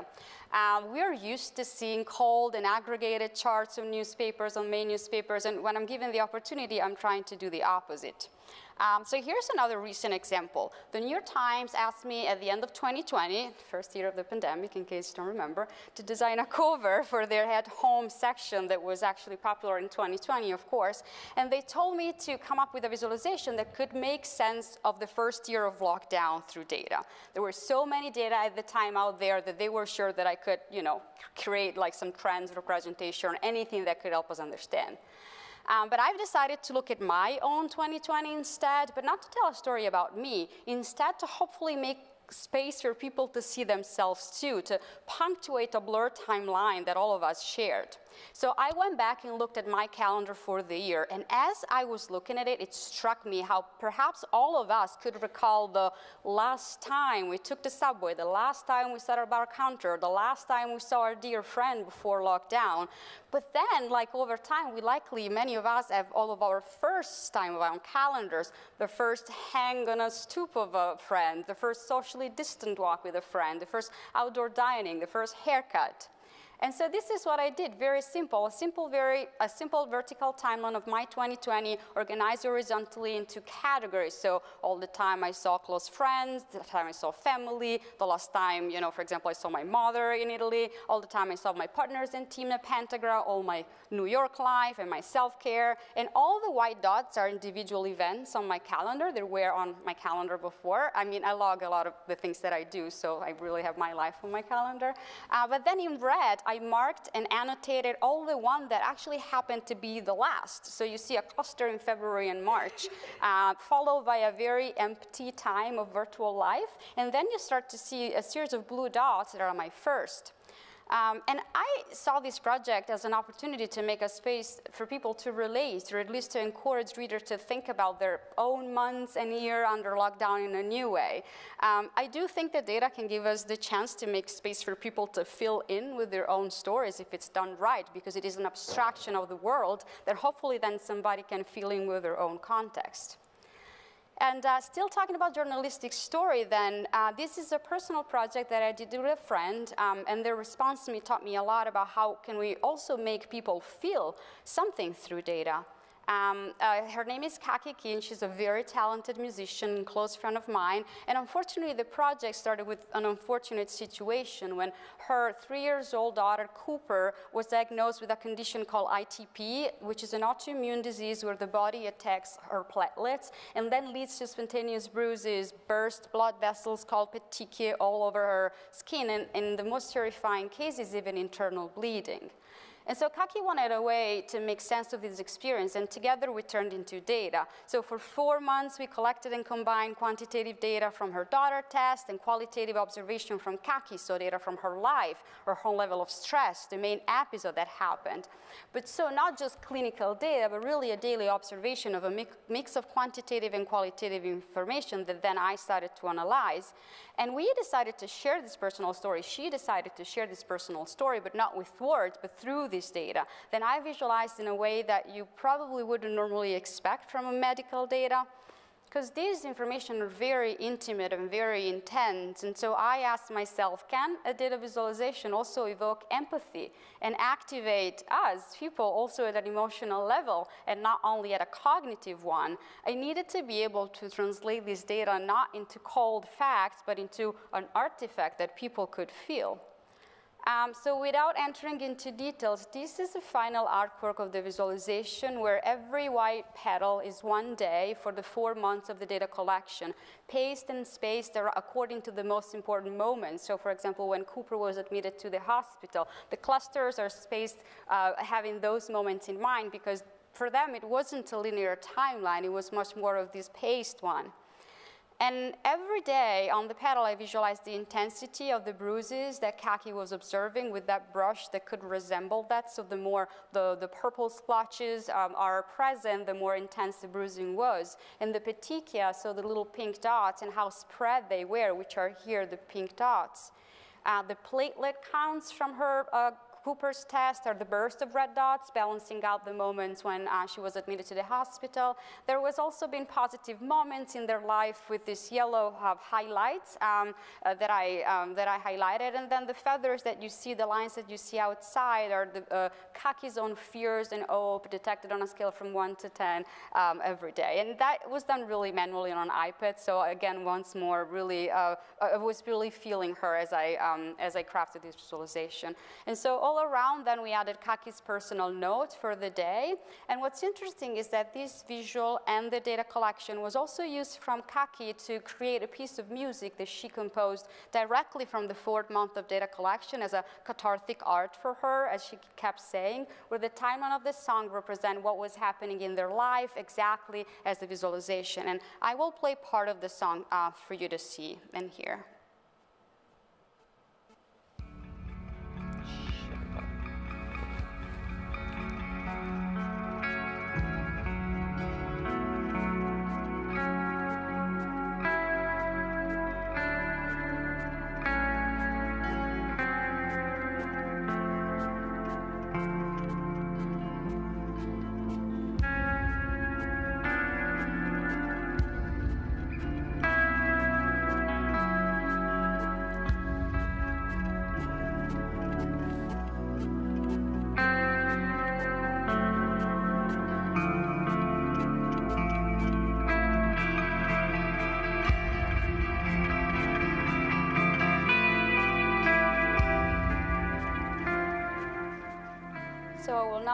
The whole song for the sake of time. Everything is on my website and on the Pentagram website with the legend. But this artwork moved so many people that saw this visualization as as a warm space in a way to learn about the story of Kaki and Cooper through data, feeling part of their life, probably more than reading a blog post if you think about it, about the story. And we didn't use words here, we used an handcrafted representation of what we saw in the data, stories and feelings. Um, again, seeing this more and more, data visualization as a space, as a space for people to understand and empathize. Um, after the last project, Bruises, uh, you know, what the, what the last project, Bruises, taught me is also the importance of the data that we don't see. So the data that are not already in form of a spreadsheet, but they are the ones that usually tell the most profound stories. And right after this project, I've taken an, an approach inspired by Bruises with this mural uh, that I was commissioned for the Museum of Modern Art um, that was closing a show called Item, Is Fashion Modern? Uh, there was a show about fashion and the culture around fashion. So the show displayed on a whole floor at the Museum of Modern Art in New York 111 items of clothing and accessories that have influenced our society and our culture, from the bikini to the burkini, from the Dr. Martens to the Levi's 501, the little black dress, the pearl necklace. And at the start, I didn't have any data. I only had the list of these 111 items of clothing and accessories that were in the show and the uh, research that the curators have made on that, so a, pile of paper.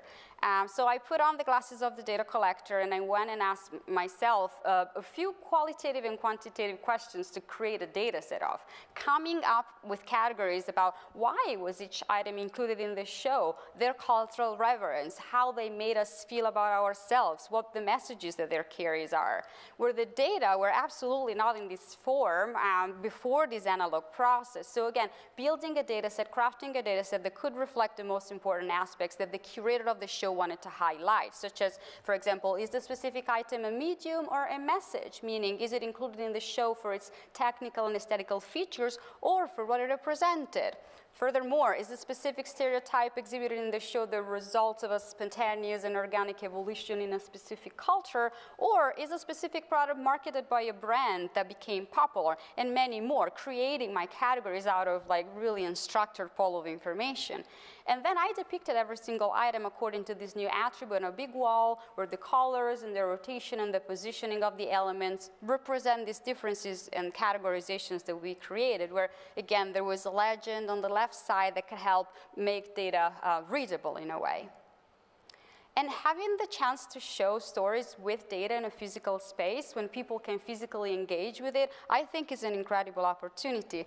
This is an even more physical example. It's a series of interactive installation on a new exhibition space in the center of Chicago, owned by the University of Chicago on the theme of behavioral science, so the science of how we make decisions where visitors can create their own data inputs while being part of an ongoing anonymous data collection for the researchers, researchers at the University of Chicago who study how we make choices. And so in this space, you're actually playing with data physically, the categories and the sizes, understanding how your answer can change a collective picture through visual patterns. And even if you don't understand what data is, you can engage in a meaningful way and hopefully walk away with some knowledge. Um, what's interesting is that initially we thought to create digital interactive installations, uh, so screens and iPads, but because of budget constraints, actually, we needed to go very analog, which I believe has proven to be successful. So this tactile and active way of interacting with data, I think made it really accessible. Um, and well, obviously, when you can actually make objects and, and, things that people can carry around, I think it's even more fun and possibly educate educational. Um, and what I think it's interesting with product design made with data is the possibility to reach a far wider audience that wasn't interested in data per se in the first place, but might start thinking about data um, in a different way. And this is an example of it. It's a data-driven collection that I designed for the brand and other stories, uh, where the graphic patterns um, are printed and represented a point. They're embroidered and sawed, all representing stories. It was probably the most fun projects I've worked on.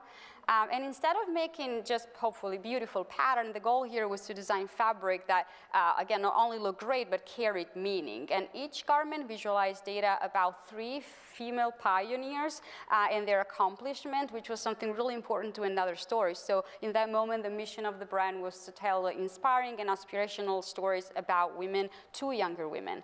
Um, again, I won't go into the details of the visualization. Today for me is to show how the approach of the stories and the craft and the possibilities we have. But these are the final pieces for the first of the three women, Ada Lovelace. She was the first computer programmer. And, and the pieces visualize the algorithm that, as a matter of fact, originated the discipline of computer science. And also it is the base of pretty much all of the devices that we carry around. Uh, here are some of the sketches and sort of like, like manual, um, manual and analog uh, analysis of the data set, um, and some ideas on how to place them on clothes. And this is Rachel Carson's part of the collection. She was the first environmental activist, and her book called Silent Spring, published in 1962, is the classic that really launched the environmental movement. And the pattern is the visualization of the structure and the main themes of the book, evolving with the book's progression. And here's some of the backstage. And you start seeing the visual inspiration here for Rachel is for, from more organic, uh, nature-driven uh, themes in a way, as opposed to Ada when I got inspired by by geometric, mathematical even ideas. So trying to match the content and the subject with the way that I visualize the data. And again, talking about handmade, here for Rachel, I literally built my data set out of a manual analysis of the book, which I know very well right now. Uh, these other three are the final pieces for Mae Jemison. She is still alive, the first African-American woman astronaut, where here the patterns represent the orbits of her mission around Earth in 1992 in the experiment she performed, um, so visually inspired by the orbits and the space. And what's interesting about this client's way of working with me is that as part of all the pictures taken for the publicity, a beautiful model was posing uh, wearing the garments as I recreated the legend behind her. So to really invite customers to see all these garments as story-driven patterns. So nothing about the communication was hinting that those are just random patterns.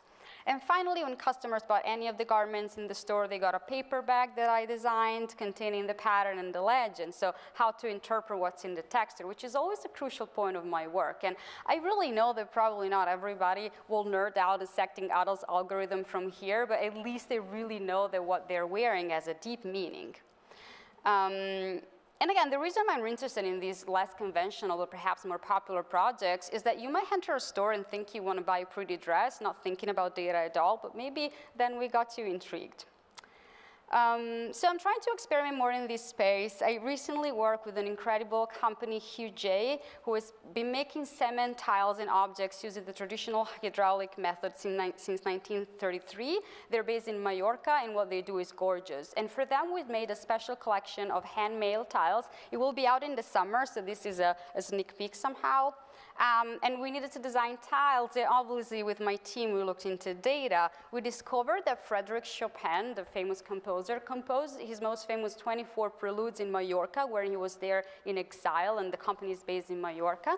Um, so we decided to analyze and dissect the preludes and compose a system of modular tiles representing each one of the preludes. And these are the actual 24 tiles. Um, it's a photo of the first batch they made. So one after the other, from top left to right bottom, each style represent a prelude. And the details of the actual pieces, it's, they're really incredible. It's one of the projects I'm really excited to see uh, done soon. Uh, and we analyze the preludes manually using keys, tempos, the way that they've been categorized uh, in terms of tones by music critiques, the runtime, the range of notes in the keyboard, the voices, and design the pattern that represent them. Again, one prelude being one tile. Um, and this is really making with data, following their whole process has been really mesmerizing. And they gave us a lot of constraints uh, that were made by how the mold needed to be shaped that influenced our design, which I think is always a good thing. Um, So there's that. Uh, but just a micro pause. So you've seen a lot of analog projects of different kinds. Most of my clients are actually big foundation, big companies. We design and develop digital experiences and applications all the time. I do work with a team of developers on, on bigger projects. But today I wanted to focus on these more tangible type of projects because these approaches really have been driving my whole way of working with data, even when designing digital applications. Um, there's this aspect of crafting the stories, crafting an experience for the readers and user, and I do apply the same principle uh, to all kind of projects with data. Uh, and so this is the last section of projects. I have three more quickly, getting into the actual making from a personal designer and artist's hands in a way. A few years ago, I embarked in the most painstakingly laborious project that also is the project that taught me the more about the world of data.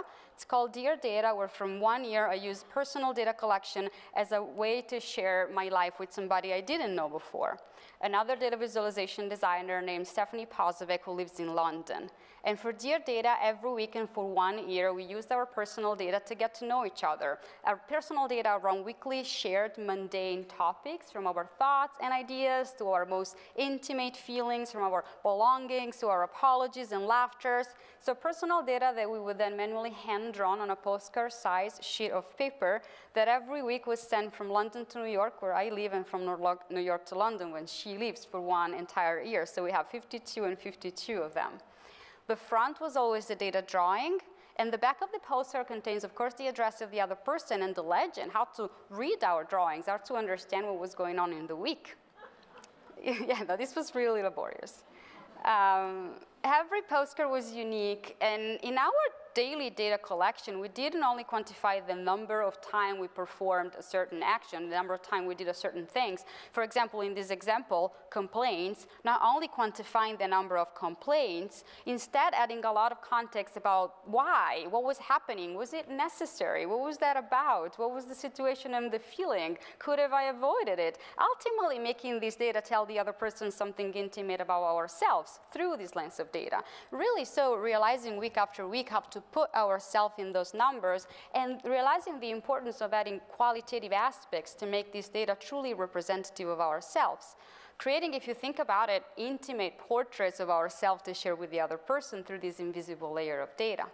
So Dear Data got actually pretty viral unexpectedly, and the original collection of postcards have found the most exciting home because it, has been acquired as part of the permanent collection of the Museum of Modern Art, which has been quite nice. But what excites us even more is that Dear Data has been so well received from the public outside the data community. We've seen thousands of postcards and artifacts made by people, not even designers or artists, who learned about the project and wanted to experiment on themselves. And even teachers of any grade are using this format to teach their students the world of data. So this kind of like warm, accessible way of looking at data um, and represented data, I really think can be a starting point for all kind of conversation. It's a way of expressing yourself as well.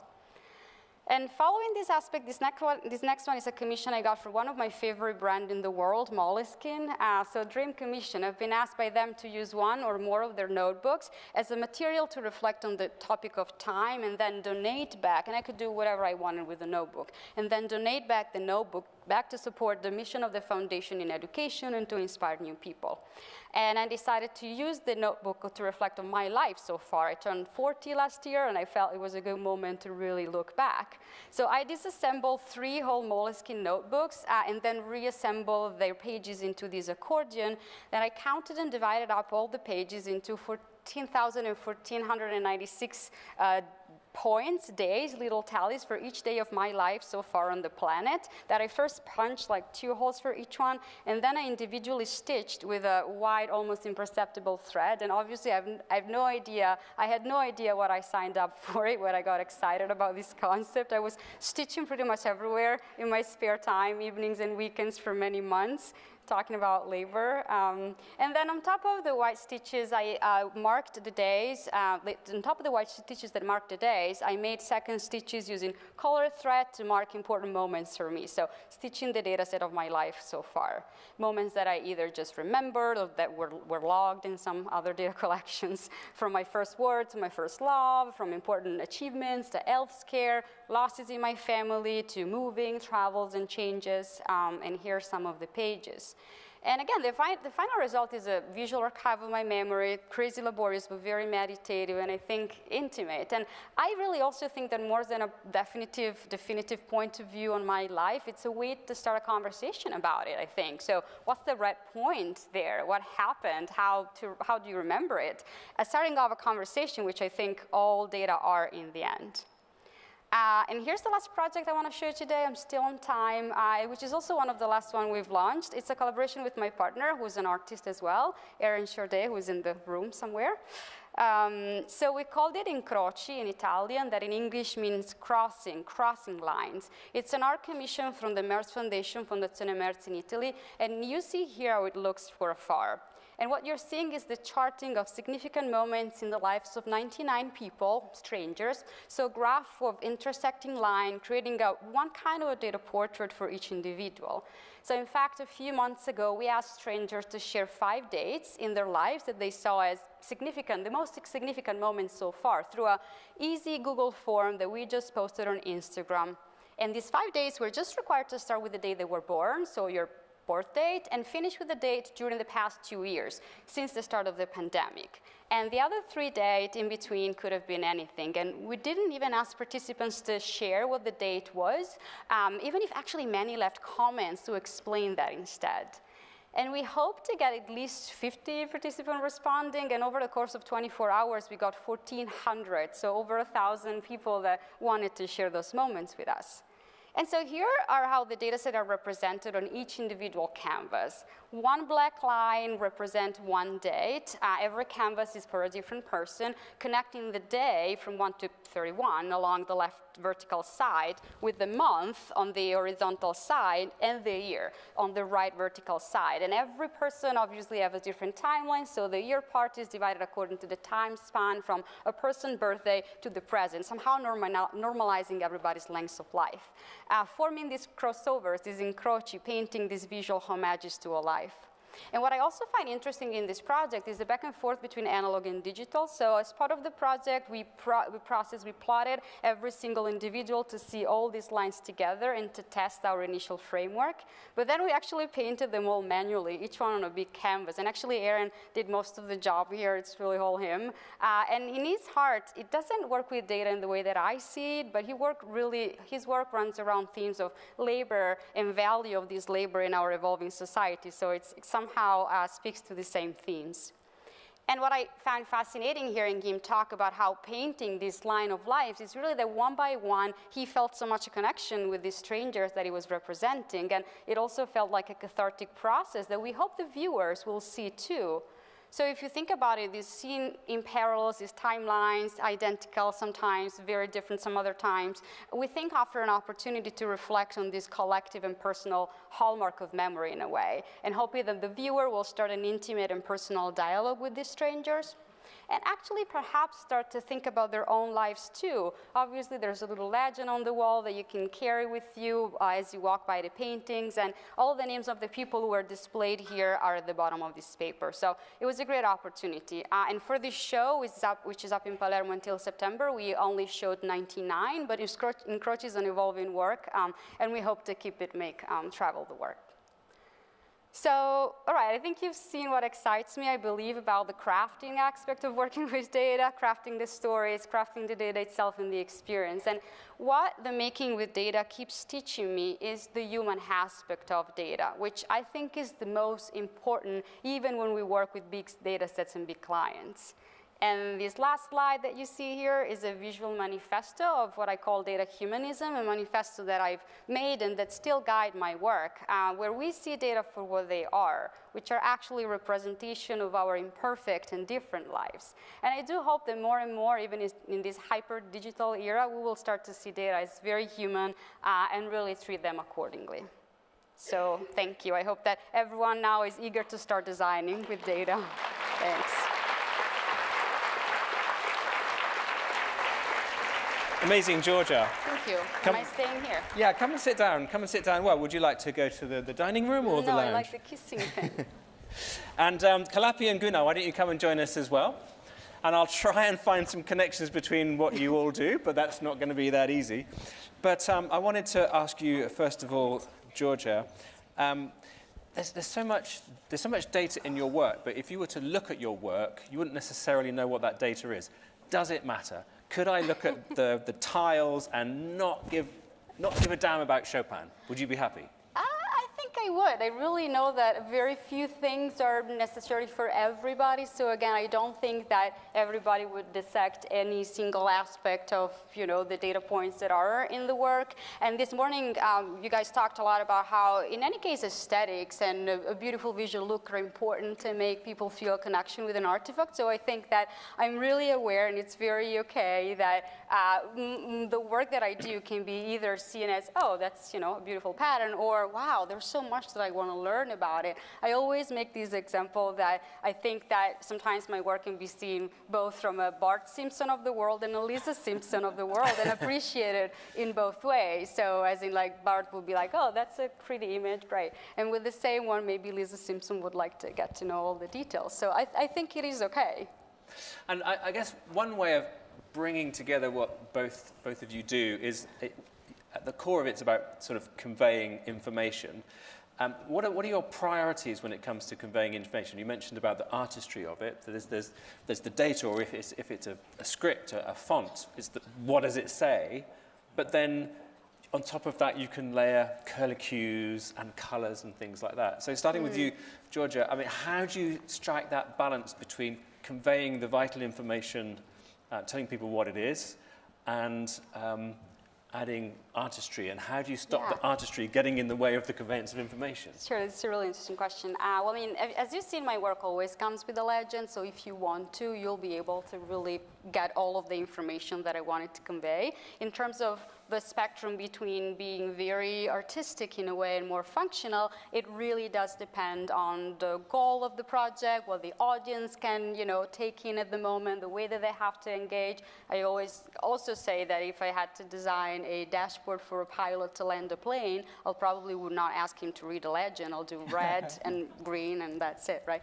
So I think, you know, there's, there's but there's a full well, spectrum. Well, the pilot might be going, oh, this is so beautiful. Whoa. exactly. no, we don't want that. Uh, but I really do think that as I was looking to your talk, guys, um, well, ultimately we are facilitators, translators, like we're creating languages that people can express stories through. So I do think that data can really be a language and maybe that uh, translates a bit into what you guys do. Yeah, so let's hear from Kalapi and Gunnar now. So same question to you really. How do you balance Yeah, the... I think so, uh, like in our field, we have this kind of a nice categorization of like a two directions to take when you're designing a typeface.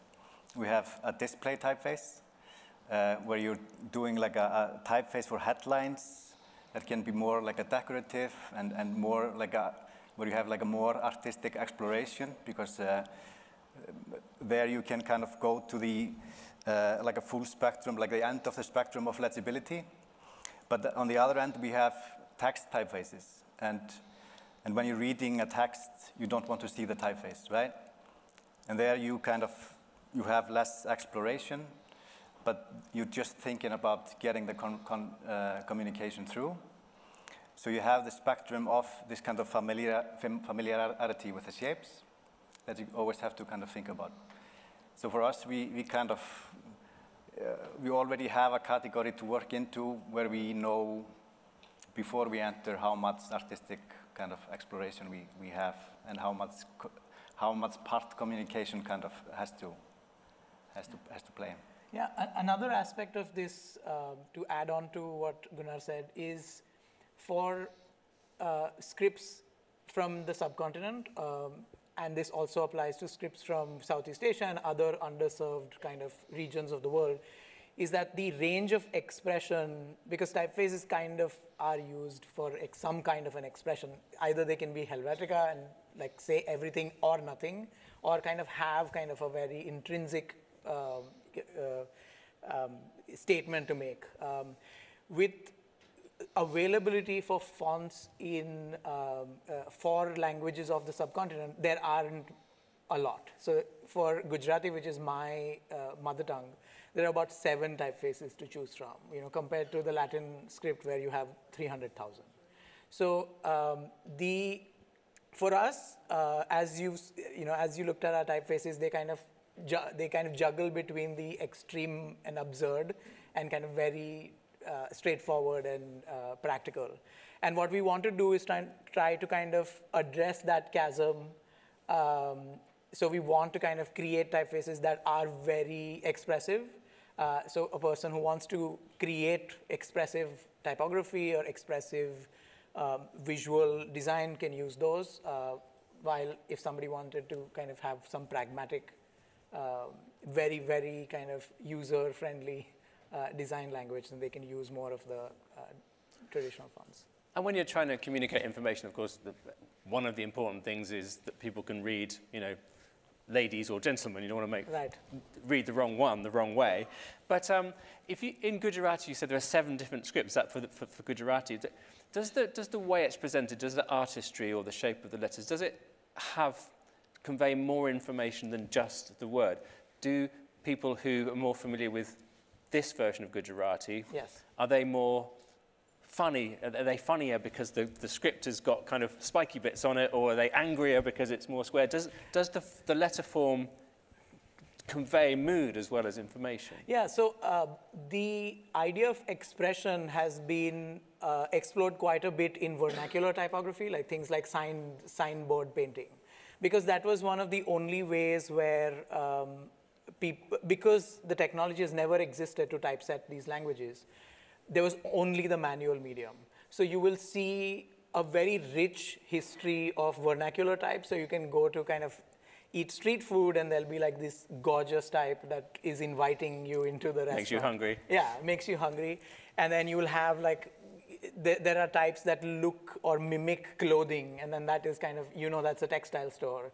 So there is that expression at a visual level uh, but we, but it's not been translated into kind of functional typography that everybody can use. It's kind of this. It's kind of. It's always been kind of the um, uh, the domain of the sign painter. Like there's this artistry uh, surrounding it. And same question to you, Giorgia, because some of your work is done on a computer and it's very orthogonal, and some of it is very artistic and non-linear, and then particularly the thing you did with Kaki King, it sort of, it, it doesn't follow a conventional um, beginning and end. It goes all over the place. That, does, was, was that um, done for any particular reason? And does, therefore, the way that the information is processed and absorbed by the, the viewer change? Yeah, um, I, what I try to do is always try to represent the content and the stories that I find in data into how I make decisions about the forms and the colors and whether it is more organic um, or, or less organic. And I think the way that, this is kind of like really Gestalt perception, the way that a person perceives any kind of image is like, first of all, by spatial, comp spatial composition. And so the positioning of elements on a, a piece of paper or a screen is the first thing that we read. And so hierarchies of information. So therefore, you know, if you see things that evolve over time on a line, you kind of like already assume that there's a chronology. If you th see things straight, you know, you perceive the one thing's it after another. If you see things grouped, that's the first architecture of the visualization. And then we start to perceive colors and quantities and sizes and shapes. And so that's the second thing that your eye will go into. And what I try to do is kind of like layer hierarchies of information according to what can be a main story that people can find, and then maybe then lose themselves in a non-linear way looking for, say, the yellow spots because they want to follow that particular stories or just like reading one thing after another. I really think that visualizing data is a form of non-linear storytelling as opposed to just an article that you read from the beginning to an end, but there needs to be anchor point. So there needs to be a, a first anchor point where a reader, a visitor, or a user can start to understand how to dig in, and then it's up to them. Mm. I thought it was funny how you showed your spreadsheets and then you showed the work that came from the spreadsheet. It, it, to, to my eyes, the spreadsheets were kind of ugly and incomprehensible, but you, could you have turned the spreadsheet into the, the final piece? Did you then have to hmm. extract, why did you have to extract the data and then make that into some kind of poetic Well, I see, thing? I think it is because our eyes do not, so I could have turned a spreadsheet just into a, a, a, data visualization, maybe like color coding the categories, but there's so much that if you just build it linear, the way that a spreadsheet is done, your eyes cannot perceive.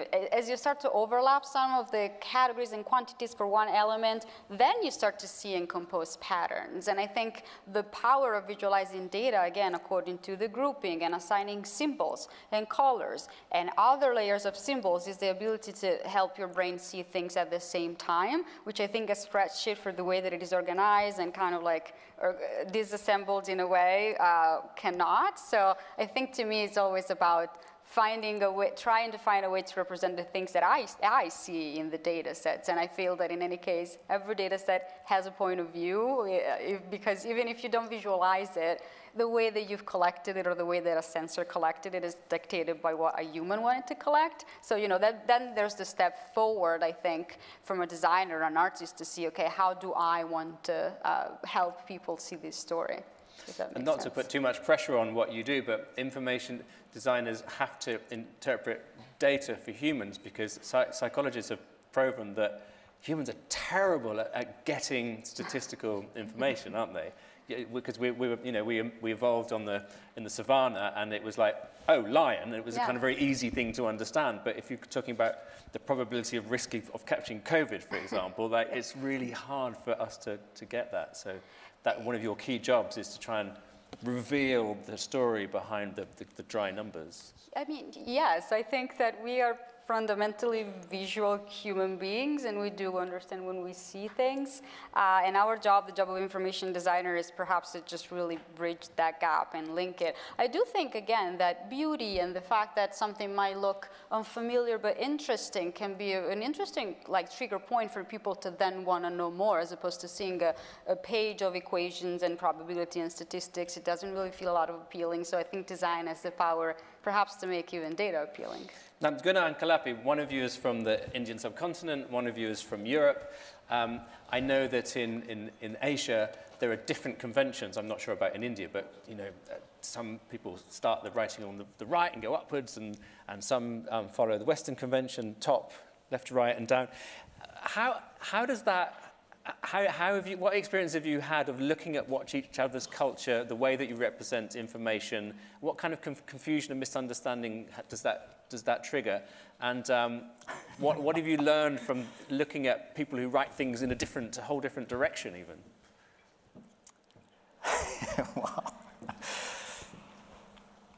Well, misunderstanding, uh, nothing like uh, significant yet. But uh, no, but you talked about some of the fonts being non-linear. So what do yeah, you mean yeah, by, I, by that? Yeah, Maybe exactly, explore yeah. what so that it's, means. It's, definitely, it's a different system, and and uh, and uh, actually, it's been uh, quite a steep learning curve for me because uh, I didn't have any knowledge of, for example, Devanagari before I, before I, I, I went into type design. So it's been, of course, uh, I've been trying to figure out ways in, in like uh, on how to learn all these different scripts. And in our foundry now, we have like a team of people that have like a different knowledge on, of the different scripts. So it's actually impossible for anyone to kind of, um, well, there are some people, of course, but to know all the different scripts on their own, right? And be some kind of a, like a master specialist in, in, in all of this. Okay, uh, Well, we're going to have to finish up now. I would love to explore that more, the difference in the way that information is consumed and understood in different cultures, but we'll have to save that one for the the bar later on. Okay, Thank you fantastic. all so much. Thank you. Thank you.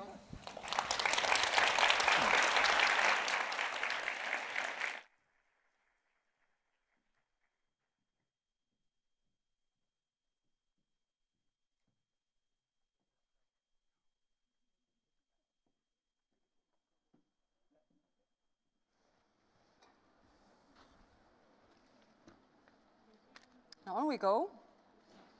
Next, we'll hear from Susanne Voss. She's a digital fashion designer at the digital fashion house, The Fabricant.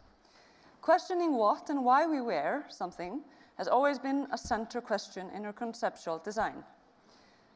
The Fabricant is a digital-only fashion couture house, leading the fashion industry towards a new sector of digital-only clothing the umpteenth time my mind has been blown with new concepts. Tonight, digital-only clothing. Imagine The Fabricant aims to show the world that clothing does not need to be physical to exist. The Fabricant collaborates with global brands and retailers to help them deep dive into its unlimited possibilities. And in her talk, Susanne will engage in conversation with Mosha Lundstrom, fashion director, stylist, and contributor to Vogue. This is something to look forward to. Welcome them on stage.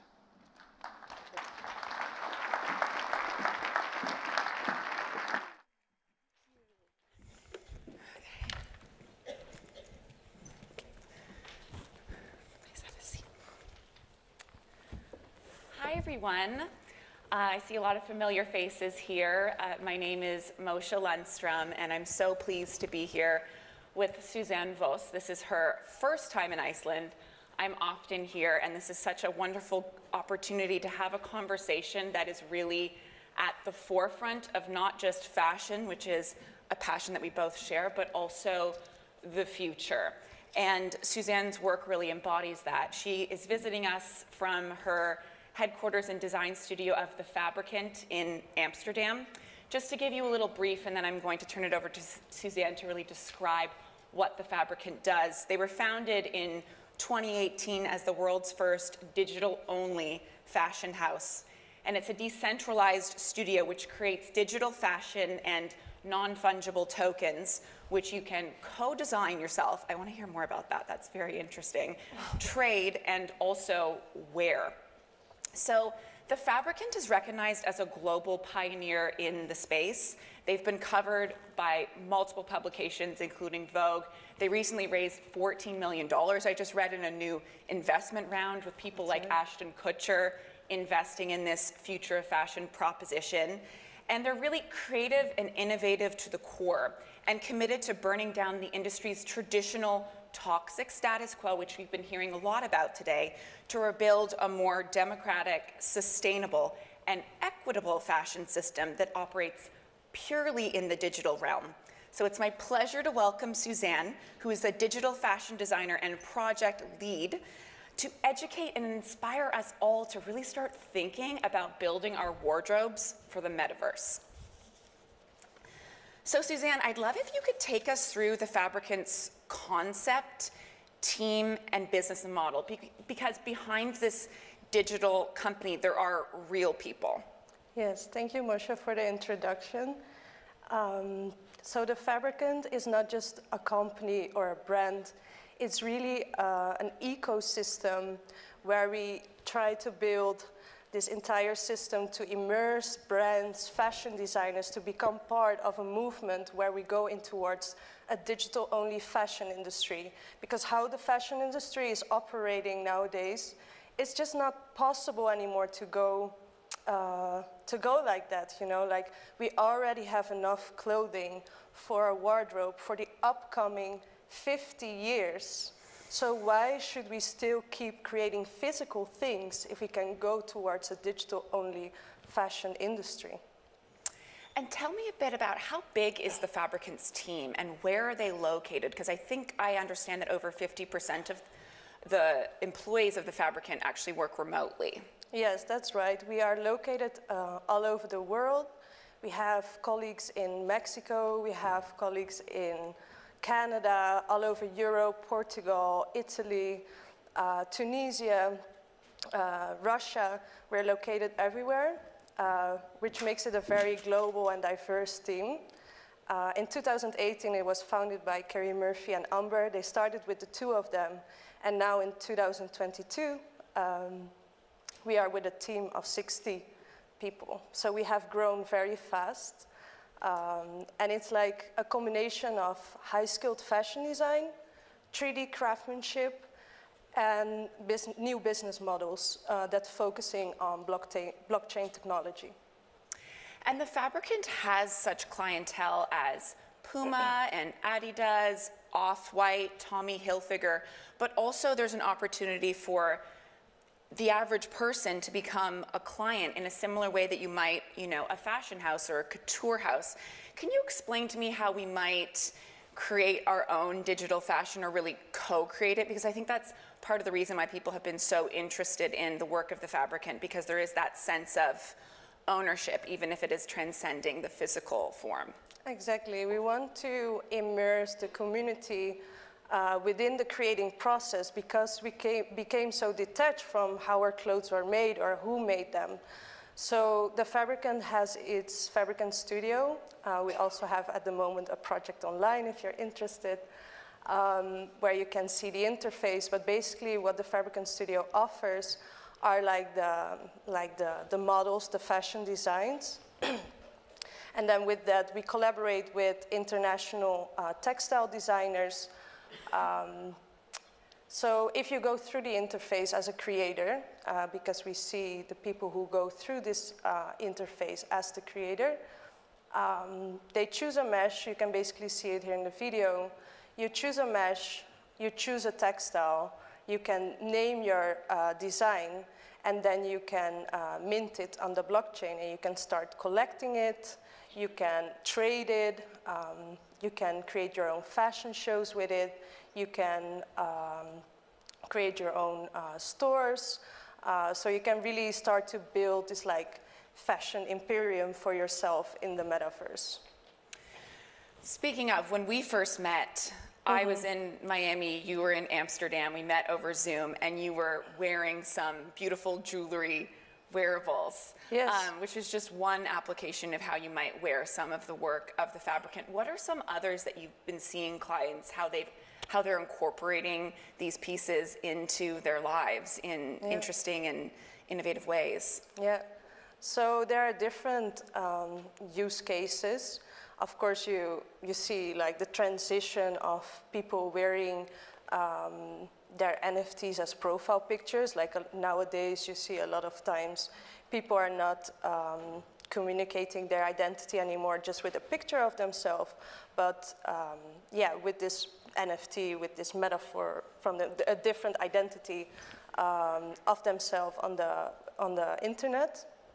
Uh, then we have like game implementation, uh, where people can use it in things like Sandbox or um, other games. Like we are also building this in uh, Unreal, which allows us to uh, implement it in several games. People do uh, the AR dressing, of course, where you can immediately interact with a fashion uh, item, as well photo dressing, uh, or wear it on your avatar as a as an art piece, basically. That's so interesting. Like maybe someday we'll see the fabricant dressing somebody who attends the Met Ball, as we saw the other day, right? That could Yeah. that could happen in the future. Yeah, well, exact, like exactly. That, that, that is what you. Um, we actually did like the Meta Gala, so we have an own form of the Met Gala in the Web3 space called the Meta Gala, and we dressed uh, Ruby Gloom, who is a, um, a digital influencer. She's basically a pioneer in the space, um, where she endless express herself in several ways with her identity. And um, she's based in Hong Kong. And what we find so interesting was like we really see her as the empress of the metaverse. So that's also how we wanted to dress her during this Meta Gala. Um, so what we basically did was um, taking like traditional um, uh, Chinese references with more European references and then creating this new aesthetic, but taking a look into the past to create something for the future. And you made me think because, like in a traditional couture house, there's quite a system that's followed for the very high-end clientele that might be paying hundreds of thousands of dollars for, let's say, a Chanel jacket, where they decide to order the item, and then there's multiple fittings that go into it, and then they receive it months down the line. What is the process like when someone is co-creating a piece of digital couture with the fabricant? What is that fit process and that back and forth co-design process like? Yeah.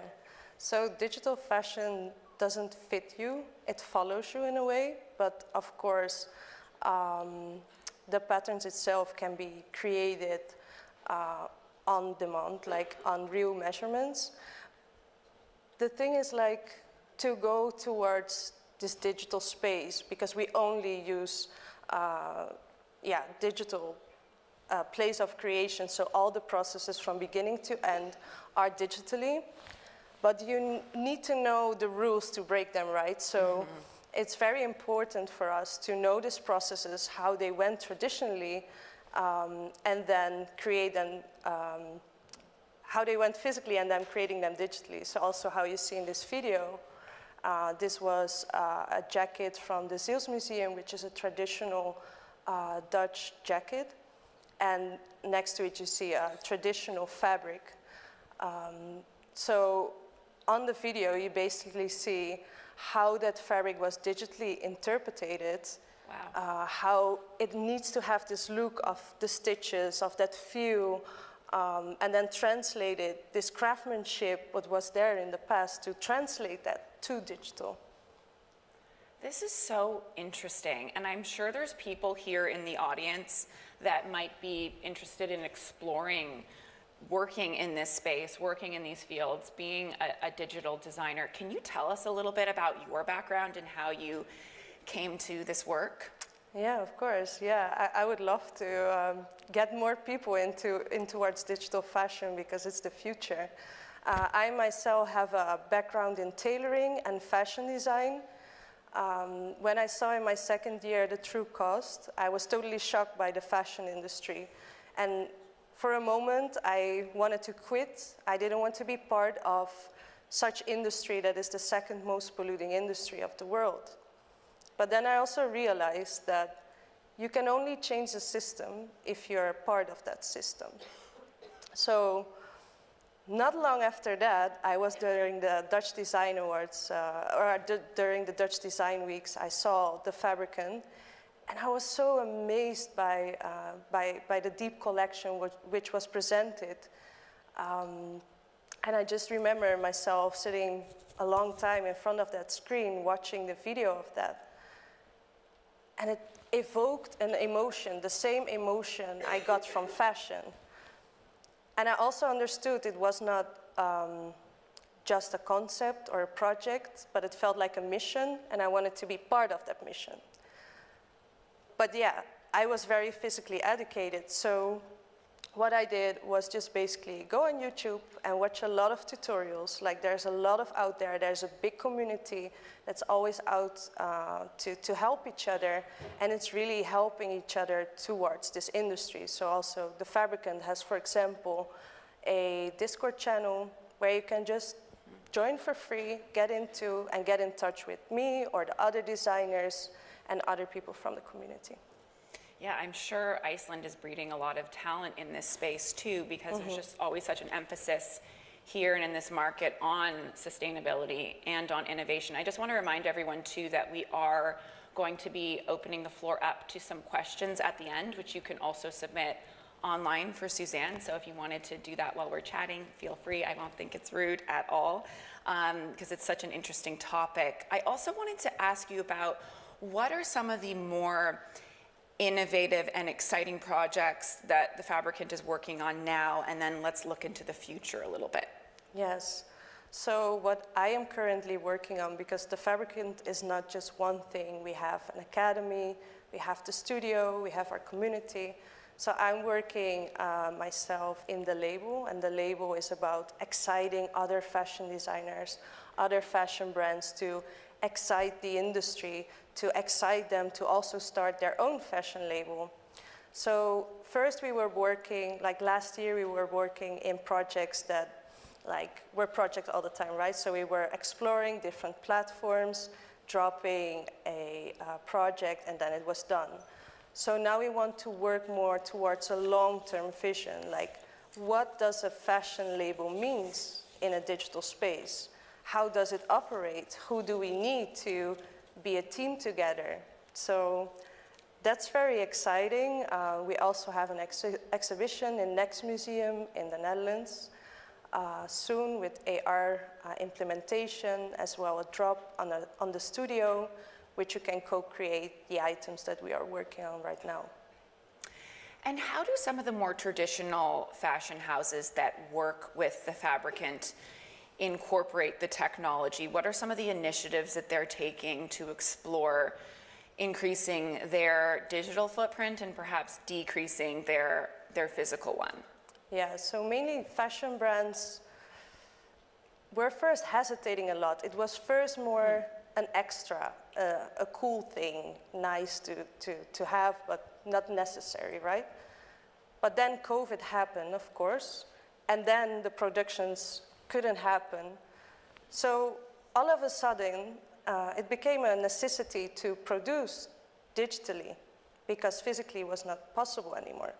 So what we have seen and what we have done for the last years and also during COVID was educating these brands to um, digitize their processes. So normally how a design process goes, most of the time, I'm not saying always, um, like we have a design, a brand has a design, they send it to a production country, they're making a sample, and the sample goes back. And it can go up to 10 times, so with all the flies, the fabrics that has been used, and it's just a lot of pollution, and it's not necessary. It's not like it's it's not needed, right?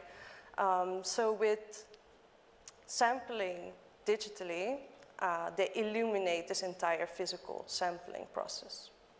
Because even the sampling process can be very wasteful. I mean, usually with the high-end design houses, they have extra fabric that they'll sample their garments in because the finished goods need to be done in a very expensive fabric, but there's mm-hmm. a there's a waste process for yeah. sure. Mm-hmm. And then also, I mean, you and I were even discussing last night too with the rise of e-commerce the return rates of so many of these e-commerce big players are just so high. It's completely baked into their business model. And why are those return rates so high? I think a lot of it has to do with fit, that things yeah. don't fit properly. And you know, we've all been there when you buy something on the internet and it looks one way on the model and you get it home and it just doesn't look quite the same. Mm-hmm.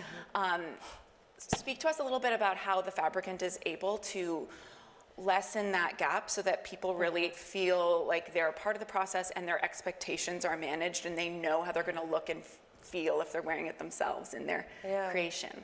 Mm-hmm. So we're not specializing specifically in how that fit is created for an individual. I'm sure companies do that. But how we want to do that is like if we m- create such a high end fashion couture piece, like normally who would wear that, right?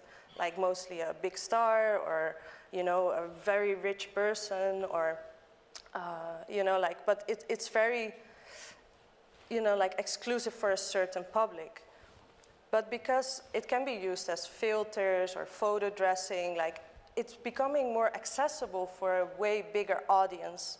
Uh, so now we can also wear a couture piece. So like this um, this was the, the Vogue uh, Singapore drop. It was the first NFT cover that Vogue did, and it was just a big mark point in history, especially for us to be recognized as uh, fashion. Um, so when you scan the, the, um, the cover, you get directed to the, um, to the filter, and you could immediately also wear this beautiful piece that was made by Romain Gauthier. Um, and in a way, we also joke a little bit about, you know, this is even faster fashion. You can immediately wear it with a scan. That's true. But you are still following some more old school creative process principles. Like you see the, the idea of the mood board here and collecting references. Talk to me a little bit about that process and the parts of your work that get you maybe away from the screen and, and immersed in the real world as well. Mm-hmm. So, to create something, you have to understand the, the fabrics, the feeling. Um, mostly we work actually always in front of our screen. but I do think references are very important to understand why, and the storytelling especially behind it, like why has been this um, pieces created and where does it come from specifically, right? So because we did a, a drop for Vogue Singapore, we went into deep dive into their um, to when Singapore was established and what kind of way of, of historical dressing they have because we find like traditional clothing very important because it has so many storytelling behind it and so many craftsmanship like and mass production basically kind of destroyed that right um, so then uh, a local designer came with this photograph, and we were very inspired by that. It's like this beautiful Sunitang, it's called. uh, which comes more from Malay culture. Um, and also we work with this uh, digital avatar creator and very known crypto artist Siobhan Wong, who is a local artist in uh, Singapore. Um, so it's basically finding the team, like who, yeah, normally you find a model, but then it's like who, would wear this kind of garment and what is the fit, how, how does it work together, how does it, you know, get into the space. So you're going basically through the same steps, but in a, in a, in a different way, in a digital way. And do individual digital designers have their own specialty or their own craft where, you know, might be their niche or they really excel in, be it beading or draping or any of these traditional fashion principles, do you find? Or does everyone become just an expert in all areas given the possibilities of the technology? Yeah. Well, I think everybody has um, has its own like gift, but it's about educating each other about those gifts that we own and treasure. Like fashion designers own a very beautiful craft of, of pattern making and understanding of fabrics and stitches and while 3D designers know how to set up lighting and um, cinematography and how to make avatars. So it's always about this intertwining of skills, but also educating each other to become generalists in the space. So we see slowly that, or slowly, we, we see our fashion designers growing into uh, 3D fashion generalists that are not only specific trained on being uh, a draper or being uh, somebody that makes the patterns, but really knows every step in the process. That's really inspiring. It's so interesting to hear about all these different applications. And I think for everyone here in the audience, you can think about an area of your life or an industry that you work in where it might be beneficial to explore some of this technology or this way of working or removing some of the physical, replacing it with the digital, reducing your waste, and kind of unlocking a new realm of your creativity, which is what we see the Fabricant doing. So it's such a pleasure to have you here to learn more about it. It's such an interesting topic. So thank you yeah. so much, Suzanne. I'd love to open it up to if anyone has any questions for Suzanne um, or anything about the Fabricant as well. It's a great opportunity. I know it can be a little. Yes. Did you put your hand up or no? I thought she put her hand up, but maybe she was just fixing her hair. Oh, we, we have some questions that were submitted. Okay, Oh, perfect.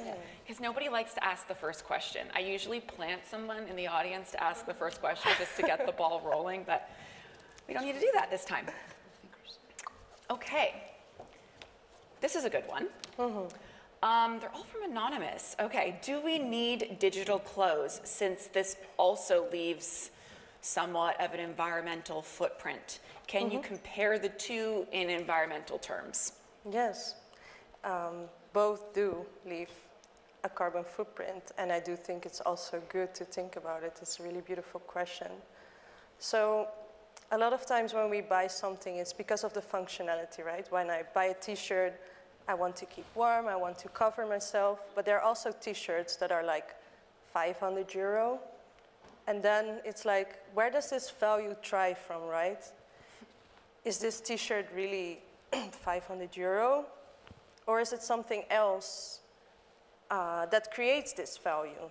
And do we really need it to exist physically to have this value around, um, around this fashion piece? Um, so I think in there, fashion, uh, digital fashion can tap into like, we don't need to have this like, you know, like high-end fashion to exist in real life if we can have it digitally. Yeah, and I mean, obviously the the environmental footprint would be less when you're Way less. consuming data versus raw materials that are being human transferred. resources as well. Yeah. Yes, I mean, even if you think about like a garment that you might be wearing right now, if you think about the journey that it's probably gone on from the raw material being sourced, converted into fabric, manufactured wherever it is made, uh, probably somewhere overseas because they don't make many things in Iceland in terms of clothing, and then distributed to you accordingly, it, it acquires quite a few air miles, right? Mhm. Yeah, and it's also like we buy also a lot of things. I think everybody has ever been a fashion victim of things, right? Like we buy things to explore our identity. But what if we don't have to buy it anymore, but we can just try it online and explore our identity there? Uh, another question is, could you mention what 3D tools are the most popular amongst digital fashion designers? Yes, so CLO 3D is um, the fashion, like the, the cloth draping software. Um, it's a really funny story. Uh, actually, it was already there on the market for a while, uh, but it wasn't adopted by the fashion industry. So game industry makes a lot of, made a lot of use of it, and lately it got adopted by the fashion industry. So CLO 3D is number one if you want to create garments, but there are also coming other softwares into the game, like Substance Designer, where you can create uh, textiles, uh, or Blender, which is a free application where you can model um, basically anything from buttons to jewelry to anything. So I think that those are the three most popular ones. Gamers have never been so fashion forward. They are actually already really far. Yeah. Like when I started with 3D, there wasn't any like fashion content about 3D, uh, but there were a lot of game gamers, uh, like game designers, uh, that created garments. So I was basically watching their YouTube videos. And lastly, can you give us the name of the Discord channel? We have some interest there to join. Yes, it's the Fabricant. So you can find it also on our website, thefabricant.com. Uh, there's a link there where you can click on it and you will get directed to the Discord server. Wonderful. Well, för Suzanne, and all of you, thank you so much. And you can continue the conversation with her after this as well on the Discord. Bye.